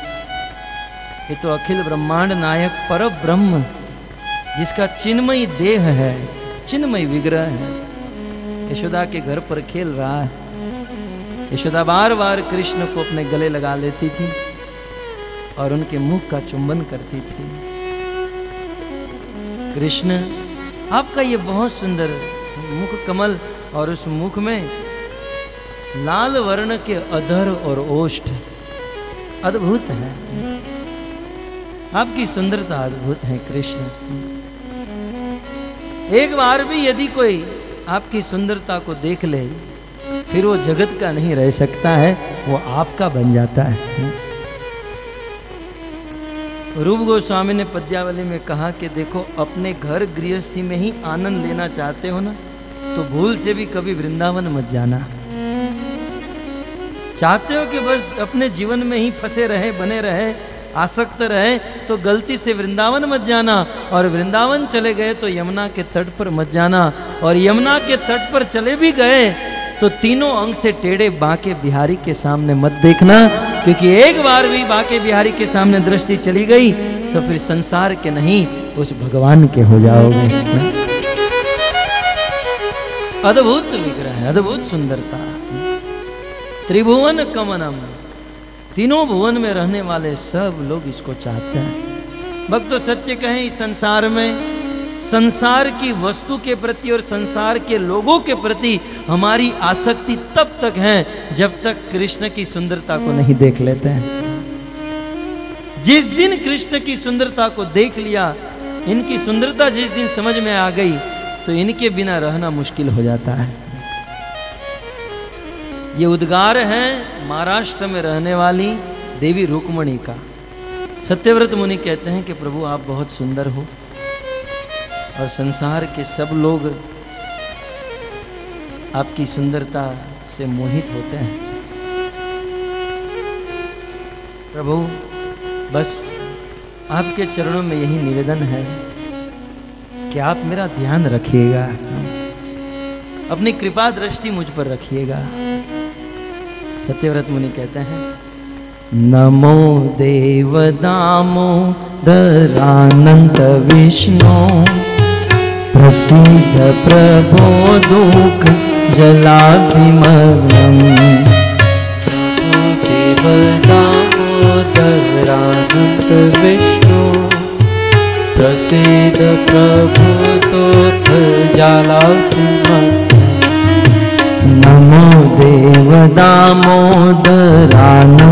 विष्णु। प्रसीद प्रभो दुःख जलाभिमग्नम् नमो देव दामोदरानन्द विष्णु। प्रसीद प्रभु तोथ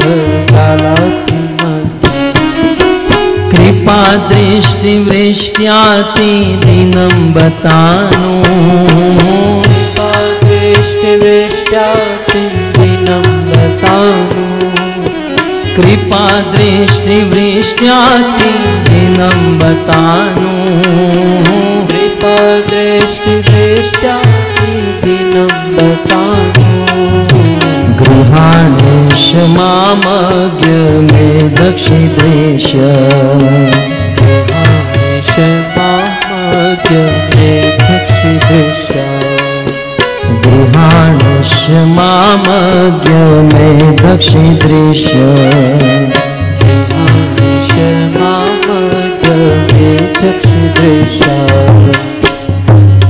सत्यव्रत मुनि कहते हैं कि हे कृष्ण, हे दामोदर, भगवान श्री कृष्ण के उदर के ऊपर रस्सी बांधी गई। उदर माने पेट और दाम माने रस्सी। जिसके उदर पर दाम बांधी गई है, इसलिए इनको दामोदर कहा गया। कि हे दामोदर, मैं आपके चरणों में प्रणाम करता हूँ। प्रसिद्ध आप मुझ पर प्रसन्न हो। इस संसार सागर में फंसा हुआ हूँ। आप मुझ पर कृपा दृष्टि कीजिए।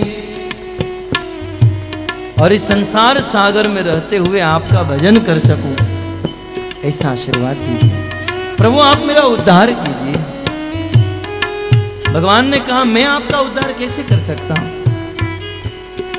सत्यव्रत मुनि ने कहा कि आप तो बड़े बड़े पापियों का उद्धार करते हैं?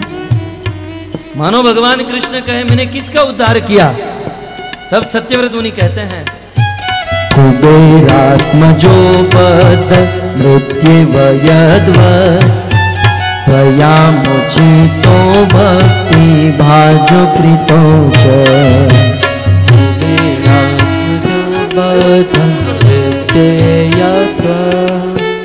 त्वया मोचितो भक्ति भाजो कृतो च कुबेरात्मजो बद मृत्युवयद्व त्वया मुचितो भक्ति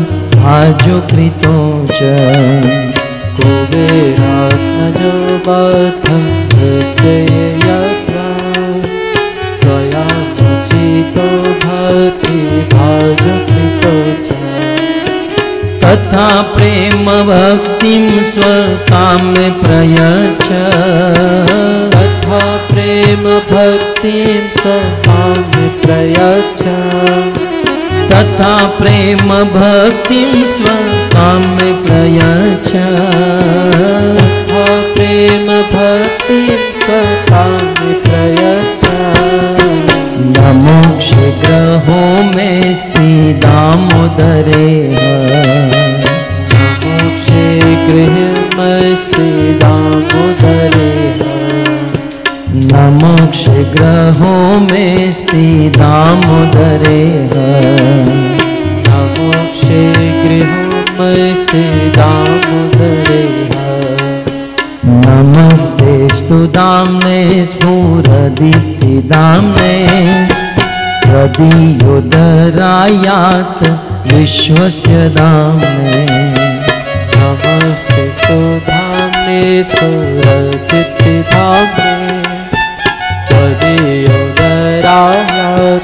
विश्वसधाम्ने हे कृष्ण मैं आपको प्रणाम नहीं करता हूँ। कृष्ण में यशोदा को भी प्रणाम नहीं करता हूँ। आपके चरण को भी प्रणाम नहीं। यशोदा के चरण को भी प्रणाम नहीं। कृष्ण मैं तो प्रणाम उस रस्सी को करता हूँ जिस रस्सी से आपको बांधा गया है, है? क्या भाग्य है उस रस्सी का? इसलिए कहते हैं नमस्ते स्तु दाम्ने स्फुरदीप्तिदाम्ने त्वदीयोदरायात् विश्वस्य दाम्ने नमस्ते सुधाम्ने सुरदितिधाम्ने त्वदीयोदरायाथ विश्वसधाम्ने नमो राधिकाये त्वदीया प्रियाये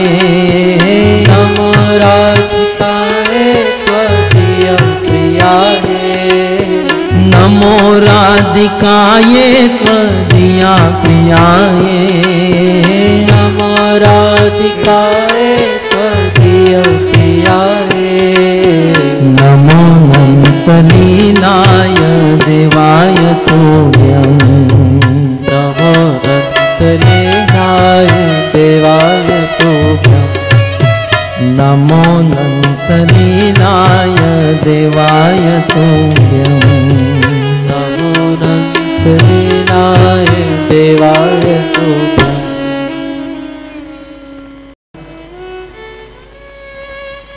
यशोदा मैया ने भगवान श्री कृष्ण को बाँध दिया और कृष्ण को बांधकर सुखदेव गोस्वामी कहते हैं, कृष्णस्तु गृह कृत्येशु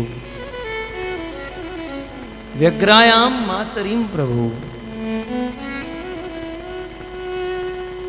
कृष्ण को बांधकर मैया यशोदा वहाँ से चली गई और कृष्ण बंधे हुए खड़े हैं, रो रहे हैं। परंतु रोते रोते उखल के साथ बंधे हुए कृष्ण की दृष्टि, अपने घर के आँगन में दो वृक्ष थे, उस वृक्ष के ऊपर गई। बस, कृष्ण की दृष्टि क्या जानी थी? उनके उद्धार की बात सोच लिया। बस भगवान की एक दृष्टि काफ़ी है उद्धार करने के लिए। कृष्ण उखल के साथ बंधे हुए हैं, रस्सी के साथ बंधे हुए हैं, उनकी दृष्टि अपने घर के आँगन में रहे दो बहुत बड़े वृक्ष थे, वट वृक्ष। उस वृक्ष के ऊपर उनकी दृष्टि गई। भगवान के हृदय में दया उत्पन्न हो गई। भले ये वृक्ष बेचारे कई दिनों से बंधे हुए हैं। मैं इसका उद्धार करूँगा। किसी आचार्य ने बहुत सुंदर कहा तो क्या अब तक उद्धार करने की बात मन में नहीं आई? घर से जाते समय, आते समय तो वृक्ष दिखाई देते थे। आचार्य ने बहुत सुंदर उत्प्रेक्षा की। इस दुनिया में जब आदमी के स्वयं के जीवन में दुख आता है, तब दूसरों का दुख समझ सकता है। आज जब खुद को बांधा गया है ना, तब वो वृक्ष जो बंधे हुए हैं उस योनि में, उनका बंधन का एहसास हो रहा है। कि बोले, मैं आधे घंटे से बंधा हूँ तो इतना कष्ट हो रहा है। ये वृक्ष बेचारे हज़ार, दो हज़ार वर्ष वर्ष से बंधे हुए हैं। कितने दुखी होंगे? एक दुखी ही दूसरे दुखी की बात को समझ सकता है। तो भगवान श्री कृष्ण, सुखदेव गोस्वामी कहते हैं, पुरा नारदेन शापेन वृक्षताम प्रापितो मदात।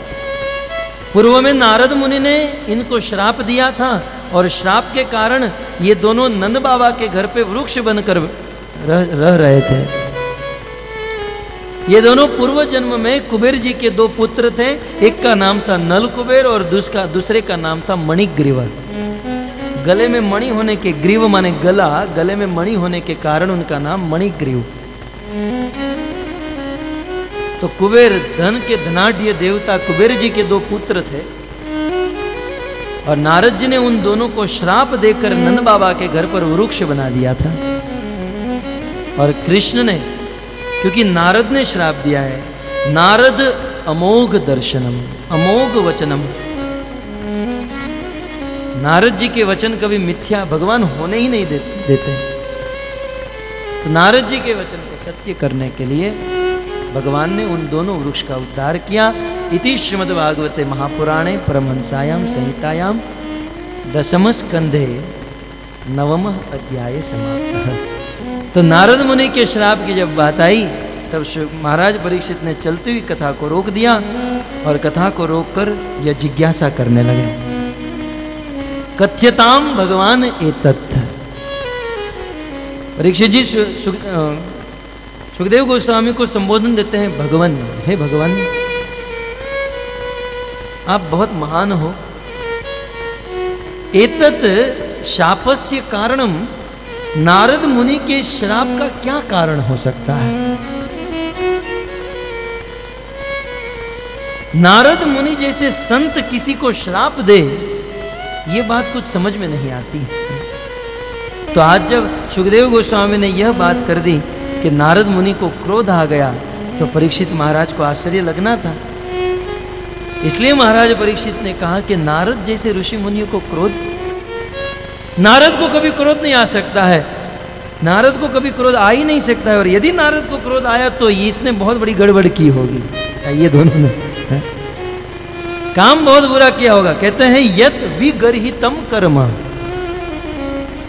ये कुबेर जी के पुत्रों ने बहुत गर्हित कर्म किया होगा, तब नारद मुनि क्रोध करेंगे, अन्यथा वो क्रोध नहीं कर सकते बताइए प्रभु, इस कथा को विस्तार से सुनाइए। ये श्राप वाली कथा जो है ना, मैं विस्तार से सुनना चाहता हूँ।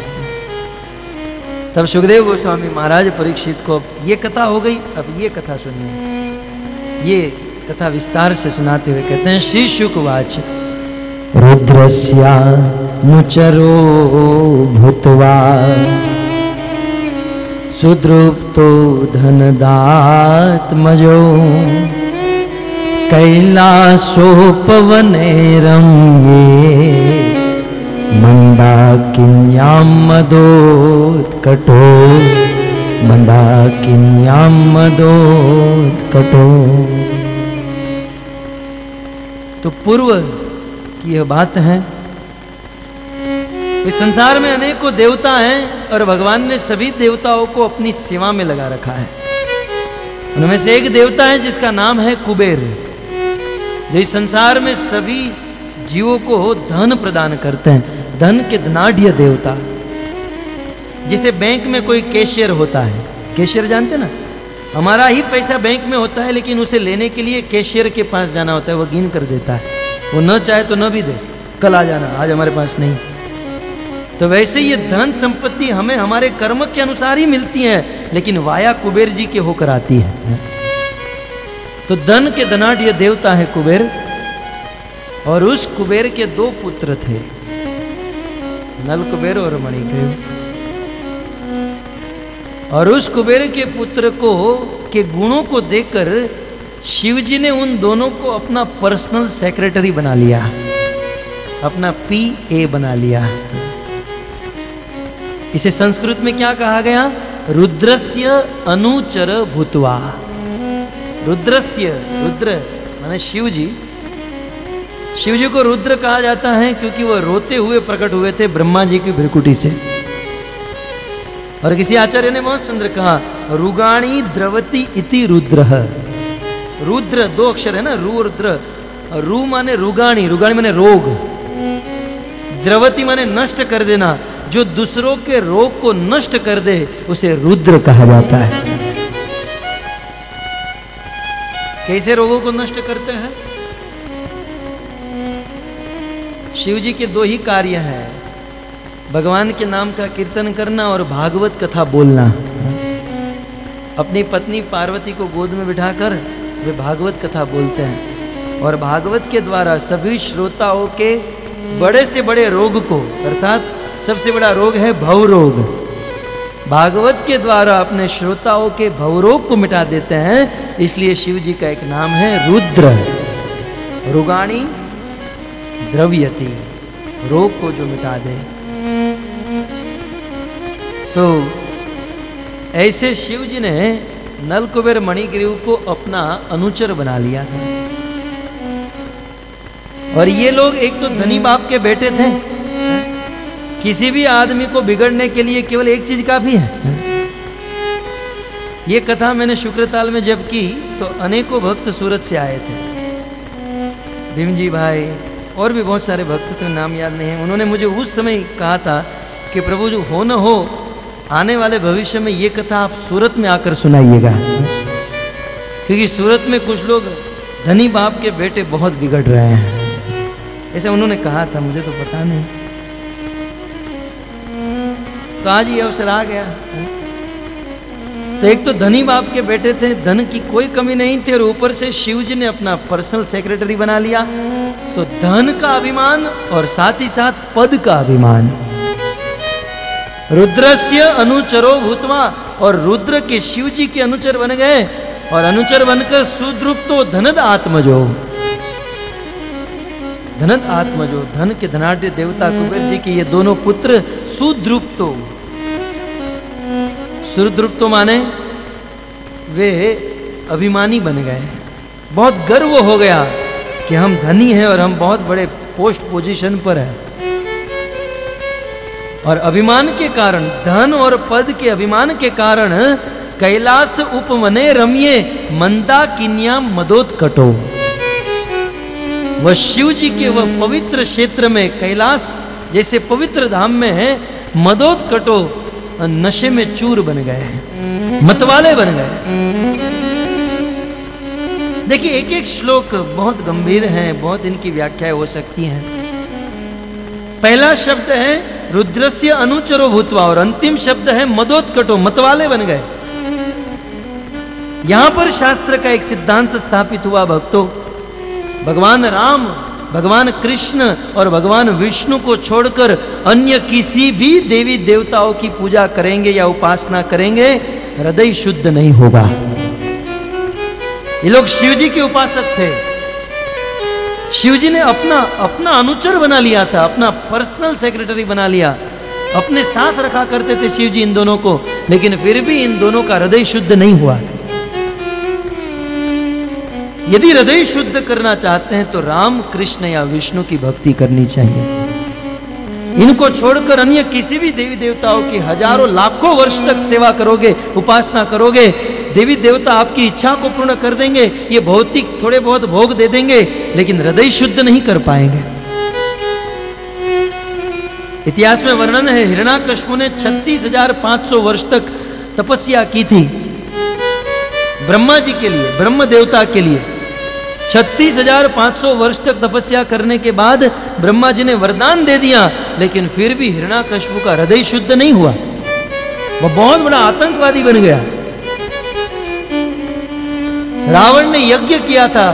दस यज्ञ करते हुए अपने दसों मस्तक हवन कुंड में डाल दिया था। शिव जी के लिए। शिव जी की इतनी बड़ी भक्ति, इतना बड़ा उपासक था रावण, लेकिन फिर भी हृदय शुद्ध नहीं हो पाया। कंस दुर्गा देवी का भगत था। दुर्गा देवी की उपासना करता था, लेकिन फिर भी कंस का हृदय शुद्ध नहीं हुआ।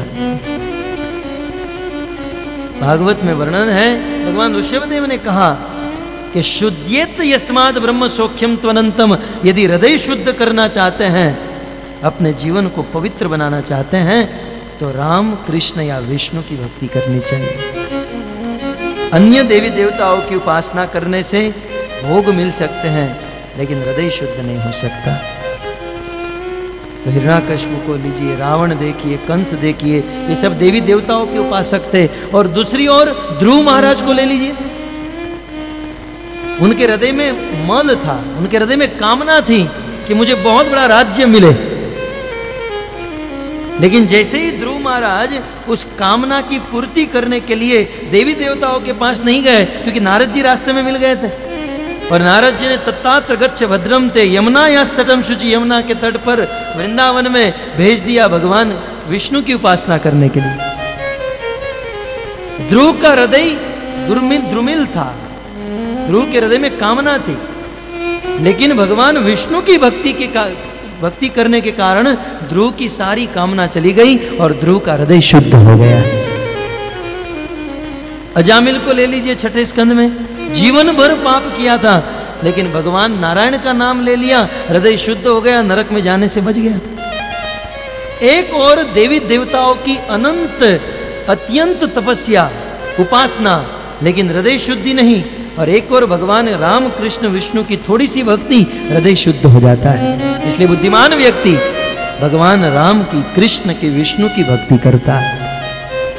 भागवत का श्लोक प्रमाण आपके सामने है। रुद्र से अनुचर भूतवा, रुद्र का शिव जी का अनुचर होकर भी सुद्रुप्तो अभिमानी बन गए और मदोत्कटो मतवाले बन गए। अभिमानी बन गए, मतवाले बन गए और मतवाले होकर कैलासे उपवने। शिव जी के पवित्र तीर्थ स्थान में वो पाप करने लगे। कुछ लोग आदत से बहुत मजबूर होते हैं। ऐसी आदत बिगड़ जाती है कि ऐसे पवित्र स्थानों में जाकर भी पाप करते हैं। जैसे हिरणाकश्यप के विषय में आया ब्रह्मा जी से वरदान प्राप्त करके स्वर्ग में युद्ध किया और स्वर्ग लोक को जीत लिया।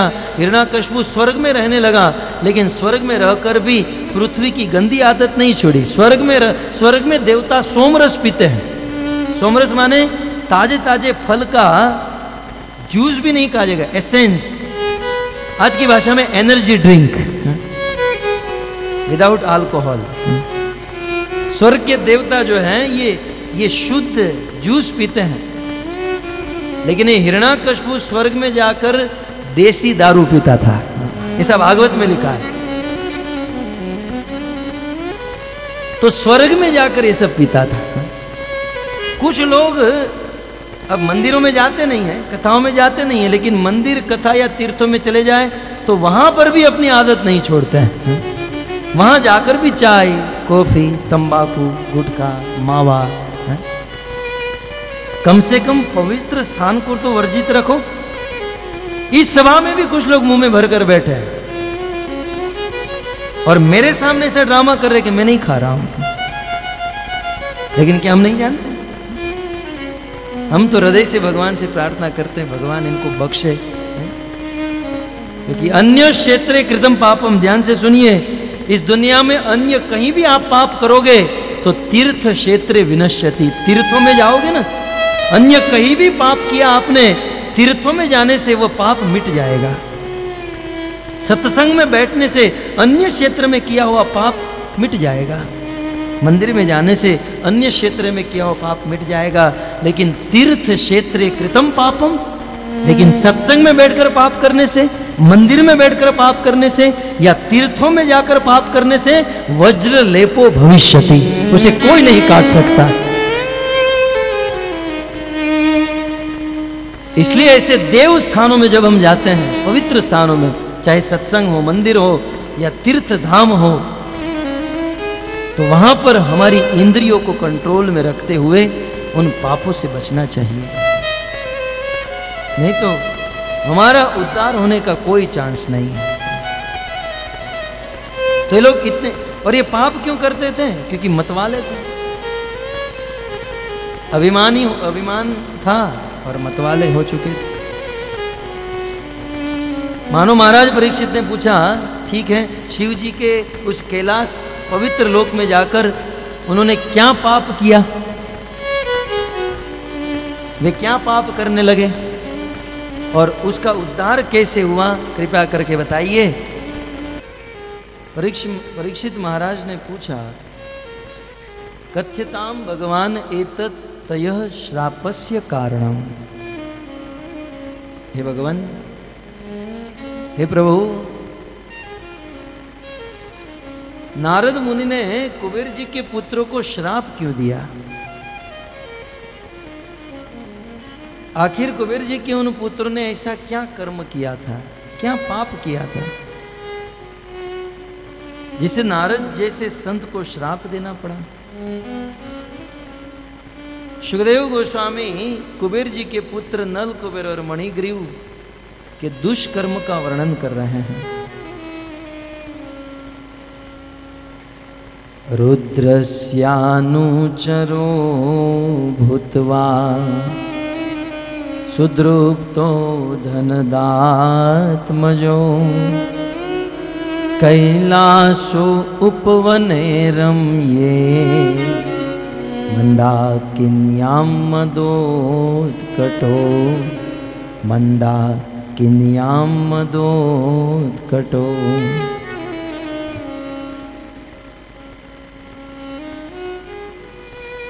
धन के धनाढ़ ये देवता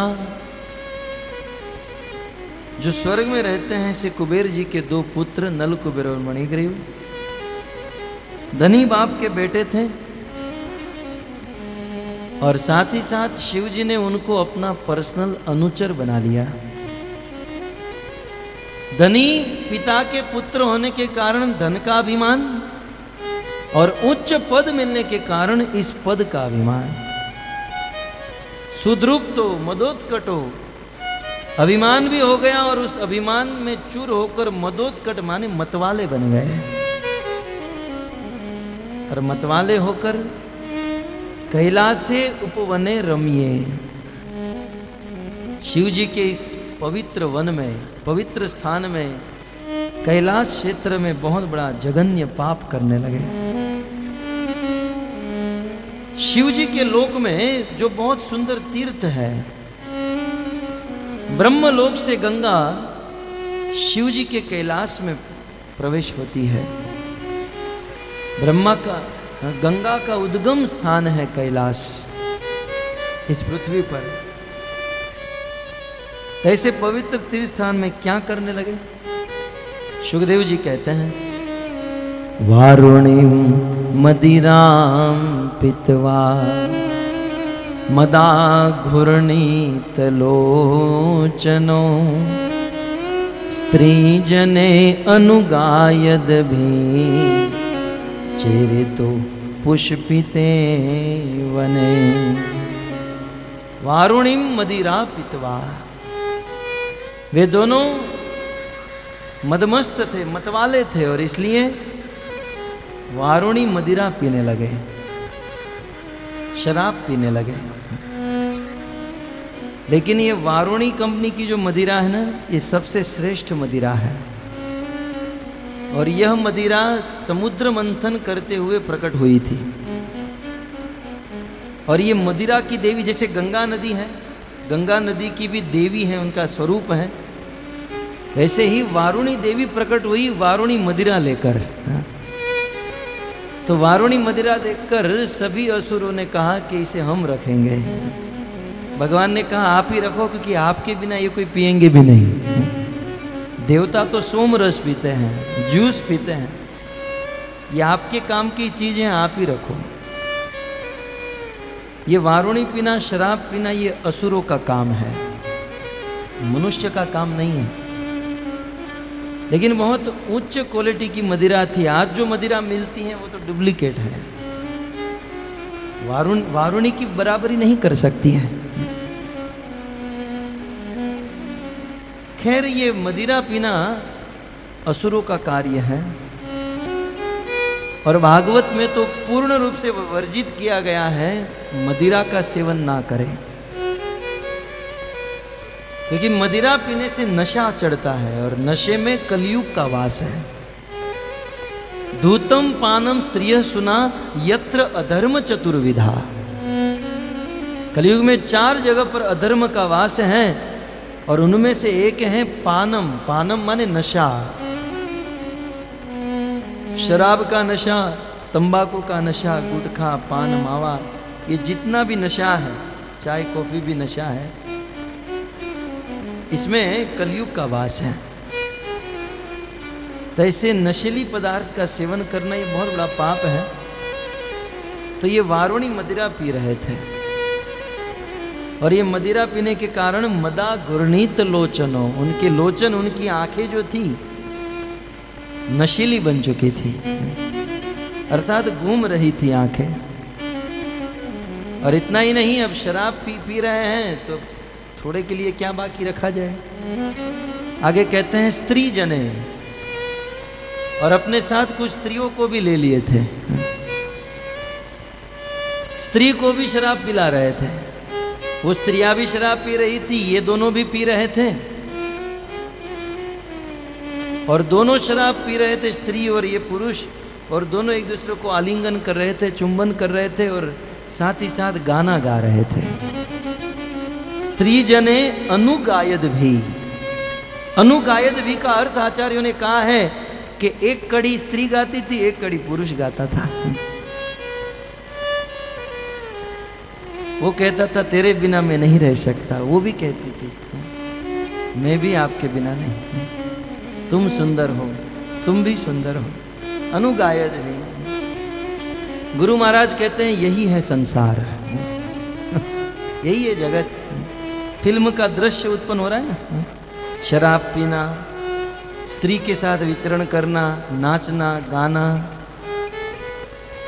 चेरितु पुष्पिते वने। उस कैलाश जैसे तीर्थ स्थान में गंगा के तट पर ये लोग इस प्रकार की हरकत करने लगे।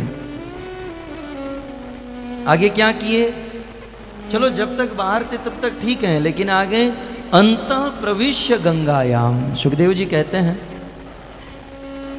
कि वे लोग शराब पीते हुए, स्त्रियों के साथ स्नान कर नाचते हुए, गाते हुए गंगा में प्रवेश किए। अपने अपराध को और बढ़ाते जा रहे हैं। अंत प्रविश्य गंगायाम। और गंगा के बिल्कुल अंत में, बिल्कुल बीच में चले गए, क्योंकि तैरना सब लोग जानते थे। अम्भोज वन राजिनी, और वह गंगा जो है अम्भोज कमल से सुशोभित हो रही थी। गंगा में बहुत सुंदर कमल उगे हुए थे। इससे अंदाज़ा लगाया जा सकता है कि कमल गंगा में उगे हुए थे, अर्थात वह जल जो था, स्थिर था, क्योंकि बहते हुए जल में कमल नहीं रह सकते हैं। तो बहुत सुंदर सरोवर होगा, स्थिर जल होगा, और उसमें यह नल कुबेर और मणिग्रीव गंगा में प्रवेश किए और गंगा में खड़े खड़े शराब पी रहे हैं। स्त्रियों को पिला रहे हैं, उसका आलिंगन कर रहे हैं। चिक्रीडतुर युवतिर भी, गजा इव करेणु भी। गजा जैसे हाथी सरोवर में स्नान करता है और घंटों भर तक स्नान करता है, अपनी इंद्र तृप्ति करता है। ठीक उसी प्रकार ये दोनों स्त्रियों के साथ उस गंगा में घंटों भर स्नान करने लगे।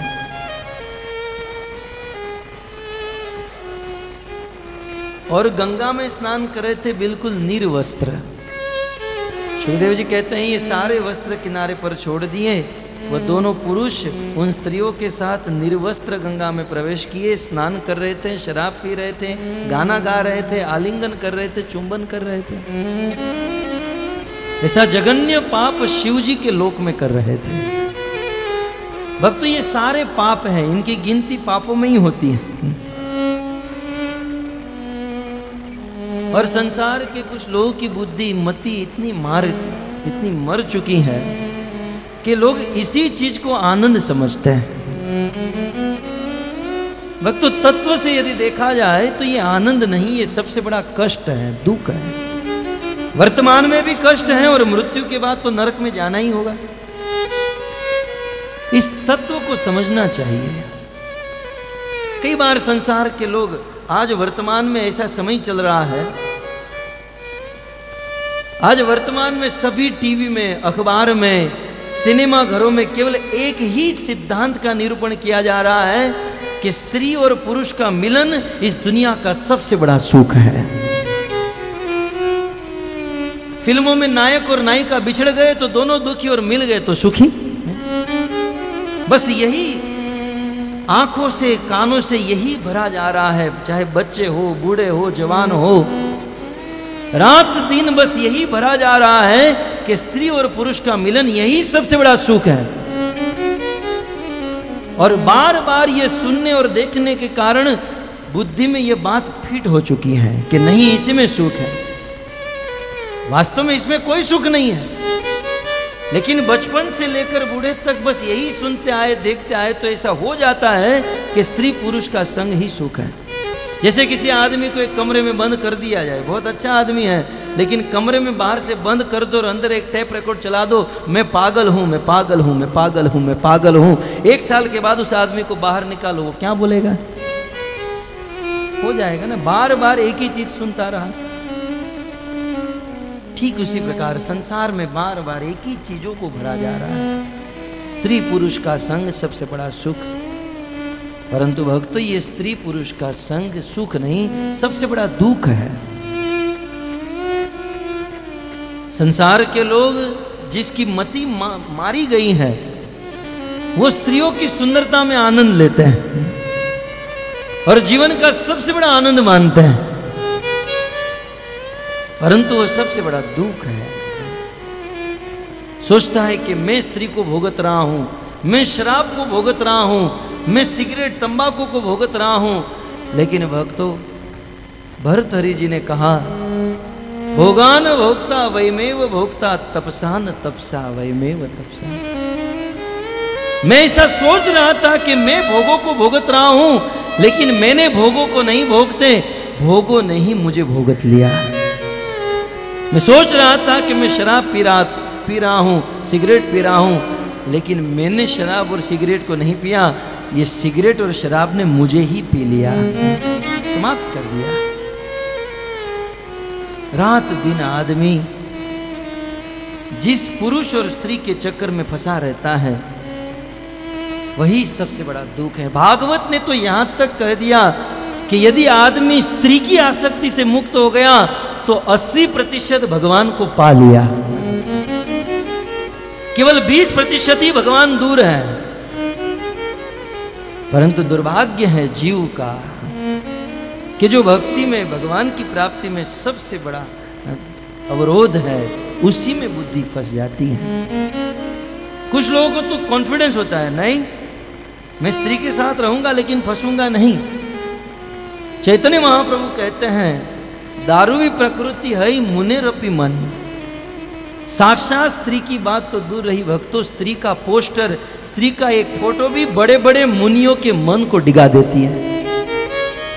साक्षात स्त्री तो दूर की बात है। स्त्री का विग्रह, स्त्री का फ़ोटो भी मुनियों के मन को हर लेता है। ग्रीत कुंभ समान नारी पुमान तप्त अंगार समान, चाणक्य पंडित ने कहा। कि पुरुष घी के समान है और स्त्री गर्म अंगारे के समान है। यदि घी को अंगारे के बाजू में रखोगे तो वो पिघलेगा ही।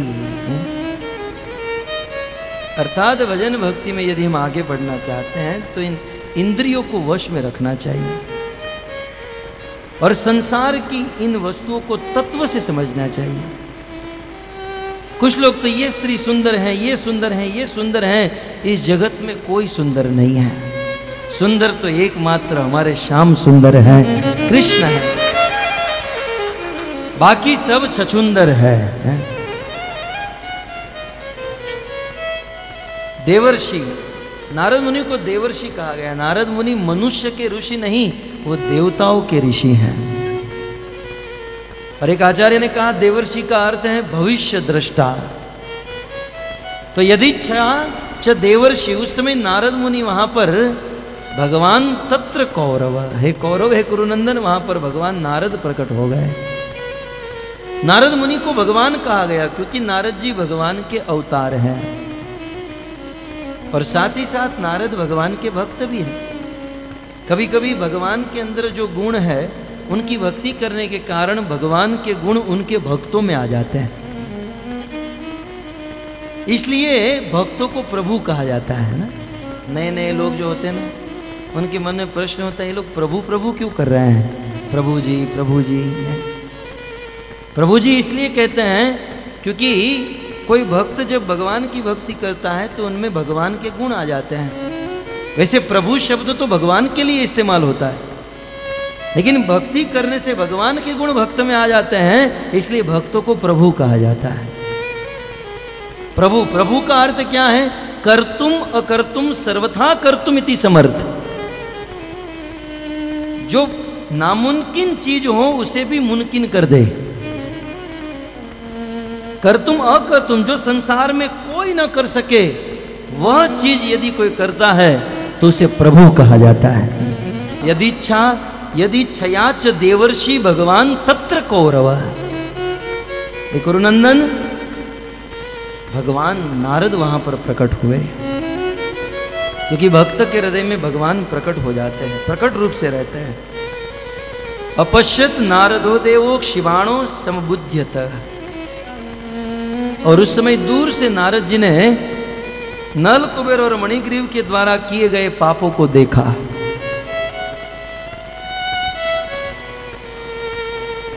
जब इस प्रकार वह दोनों को पाप करते हुए गंगा में देखा तो नारद जी ने क्या किया? सुखदेव जी कहते हैं तम दृष्टवा व्रीडिता देव्यो। विवस्त्राशापशङ्किता।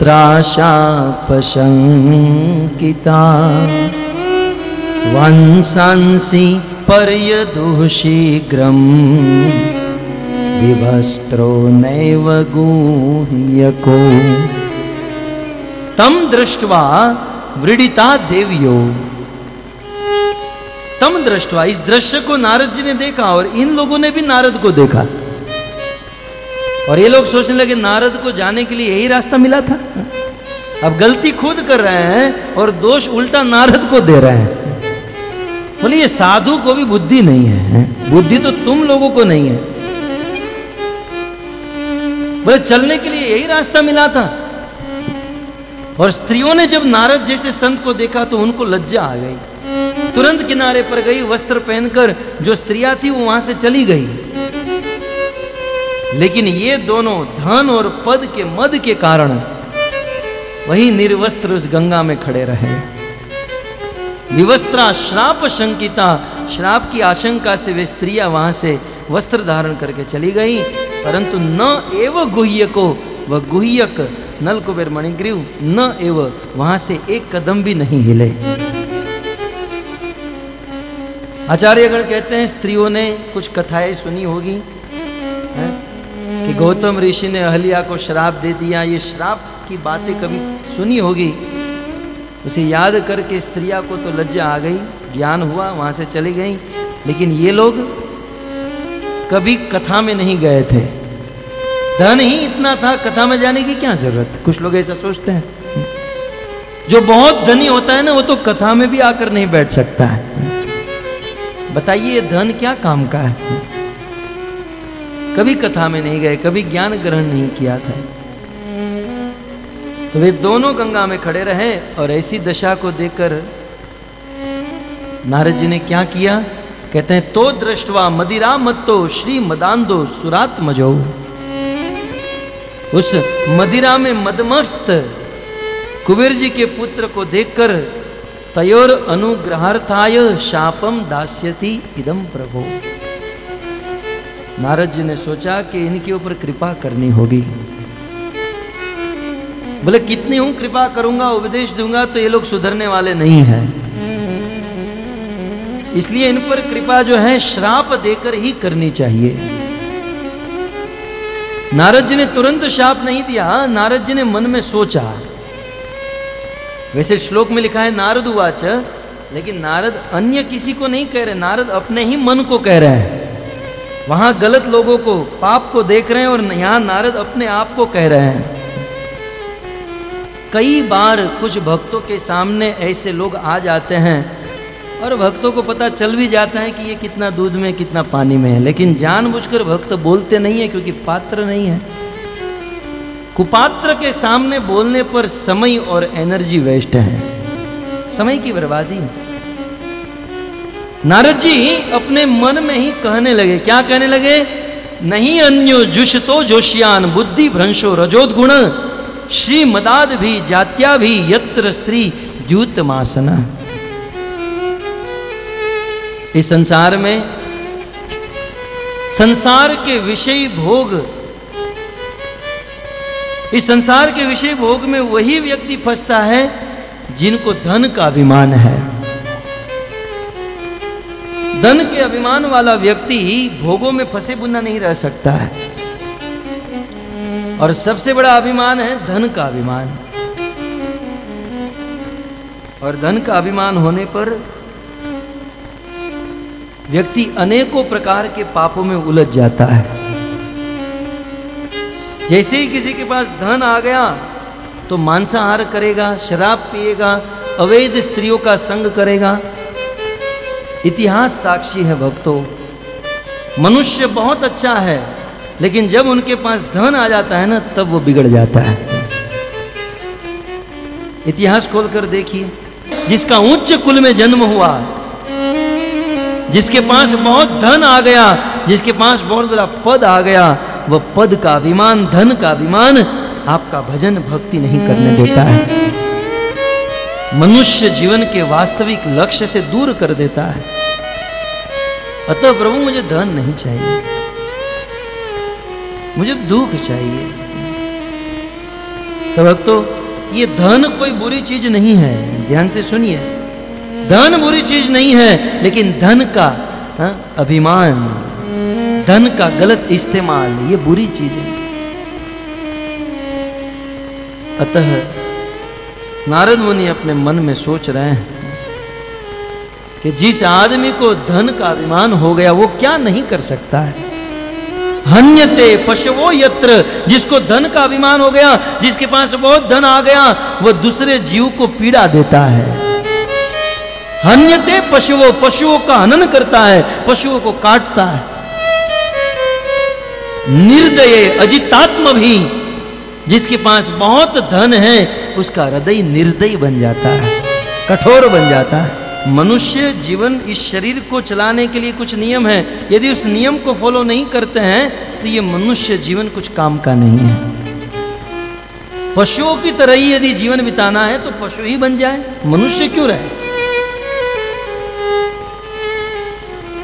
वृक्षों की तरह यदि खड़ा रहना है अभिमानी बनकर। झुकना नहीं है, वस्त्र नहीं पहनना है। तो नारद मुनि ने कहा कि तुम वृक्ष बन जाओ। नारद जी ने श्राप दे दिया और जैसे ही श्राप ये दोनों ने सुना, दोनों का नशा उतर गया। बोले, नारद मुनि ने श्राप दिया, वृक्ष बनने का हम लोग वृक्ष बन जाएँगे। वृक्ष बन ही रहे थे, ये दोनों का नशा उतरा, दोनों बाहर निकले, वस्त्र पहनकर नारद जी के चरणों में गिर गए। महाराज, आप आप ऐसा अनर्थ मत कीजिए। दोनों नारद मुनि के चरणों में निवेदन करने लगे, प्रभु, हमें वृक्ष मत बनाइए। हम आपसे वादा करते हैं कि ऐसी गलती फिर कभी नहीं करेंगे। बार बार जब नारद जी को निवेदन किया, नारद जी के हृदय में दया आई।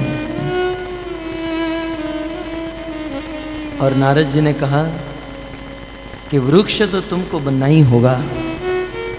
परंतु आप लोग निवेदन कर रहे हो, प्रार्थना कर रहे हो तो आशीर्वाद देता हूँ कि तुम दोनों वृक्ष तो बनोगे, लेकिन गोकुल में, महावन में, नंद बाबा के घर पर वृक्ष बनोगे। और अखिल ब्रह्मांड नायक साक्षात भगवान कृष्ण तुम्हारा उद्धार करेंगे। इस प्रकार नारद जी ने वरदान दे दिया, और वह नल कुबेर और मणिग्रीव नंद बाबा के आँगन में अर्जुन नाम के वृक्ष बने दोनों ट्विंस थे, इसलिए उनका नाम हुआ यमला अर्जुन तो आइए पुनः भगवान श्री कृष्ण बंधे हुए हैं उखल के साथ। मैया कृष्ण को बांधकर चली गई हैं और कृष्ण उस दोनों वृक्षों को देखकर सोच रहे हैं कि पुरा नारदेन शापेन कि पहले नारद मुनि ने इन दोनों को श्राप दिया था, अनुग्रह किया था। इसलिए मुझे नारद के वचन को पूर्ण करने के लिए इनका उद्धार करना होगा भगवान श्री कृष्ण उस उखल को लेकर चलने लगे।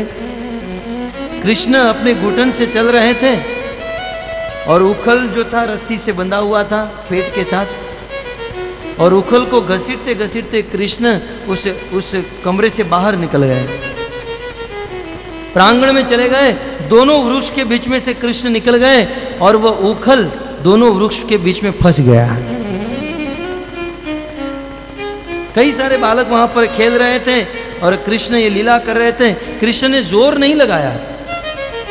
कृष्ण अपनी स्वाभाविक गति से जैसे ही चले उखल फंसा था और जैसे ही चले, कई वर्षों से ये दोनों वृक्ष जड़ जमा कर बैठे थे।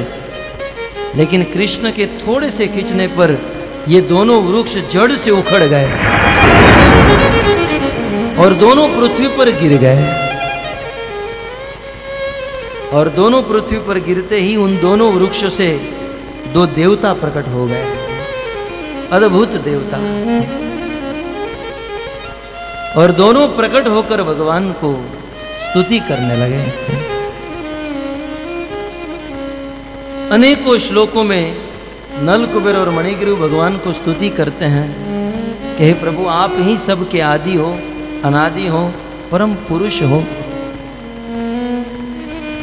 बस आप हम पर कृपा कीजिए।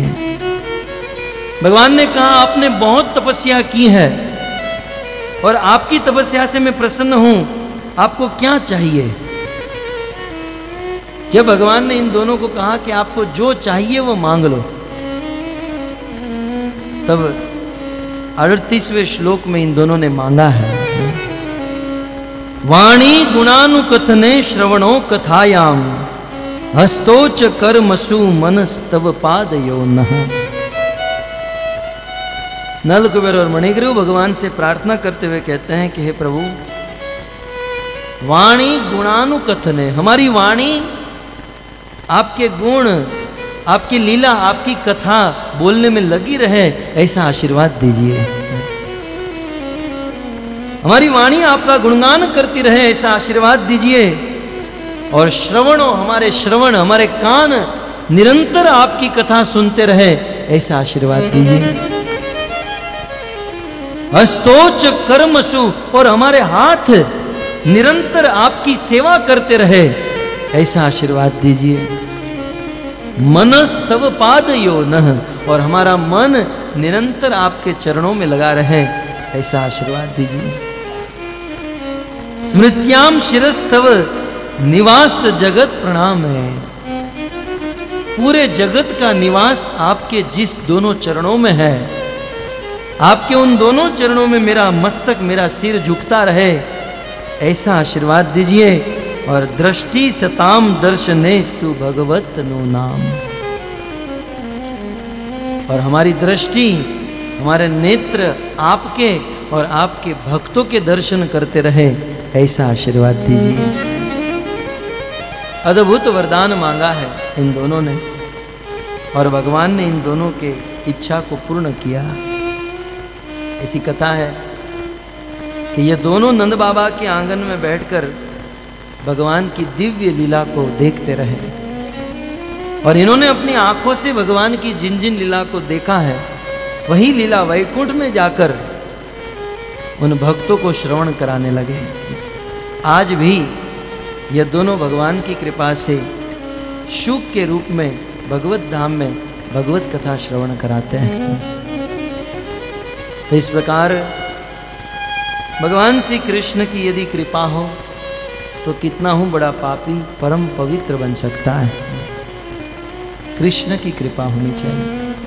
और भक्तों, इस प्रसंग का सबसे बड़ा अंग ये है कि इन पापियों के ऊपर भगवान की कृपा तब हुई जब नारद मुनि ने आशीर्वाद दिया। और यहाँ पर भी लिखा है दृष्टिम सताम दर्शन। हमारी दृष्टि संतों का दर्शन करती रहे, ऐसा आशीर्वाद दीजिए। संतों का दर्शन हो जाना, ये बहुत बड़ा सौभाग्य है। निमि महाराज कहते हैं, दुर्लभ हो मानुष्यो देहो देही नाम क्षण भंगुर। इस देहधारी जीव के लिए मनुष्य का जीवन अत्यंत दुर्लभ है। और तत्रापि दुर्लभम मनिए वैकुंठ प्रिय दर्शनम। और उस मनुष्य जीवन से भी ज़्यादा दुर्लभ वैकुंठ प्रिय भगवान के प्रिय ऐसे संतों का दर्शन भक्तों का दर्शन। जीवन के सारे कार्य छोड़कर भक्तों का दर्शन कर लेना चाहिए। क्योंकि भक्तों, पवित्र होने के लिए यहाँ से हरिद्वार जाओगे, गंगा में स्नान करोगे, तब जाकर पवित्रता आएगी। लेकिन संतों का, भक्तों का दर्शन कर लीजिए, हृदय में पवित्रता आ जाएगी। दर्शन करने मात्र से पवित्रता आती है। इसलिए भक्तों का अनुग्रह प्राप्त करना चाहिए। हम भगवान की भक्ति करेंगे तो भगवान का धाम प्राप्त होगा। भगवान की भक्ति करने से कब भगवान का धाम प्राप्त होगा, इसका कोई निश्चित नहीं है। कोई डेट नहीं है। एक जन्म, दस जन्म, हज़ार जन्म, करोड़ जन्म। लेकिन यदि भगवान के भक्तों की सेवा करेंगे तो इसी जन्म में भगवान की प्राप्ति हो जाएगी इसमें कोई संशय नहीं।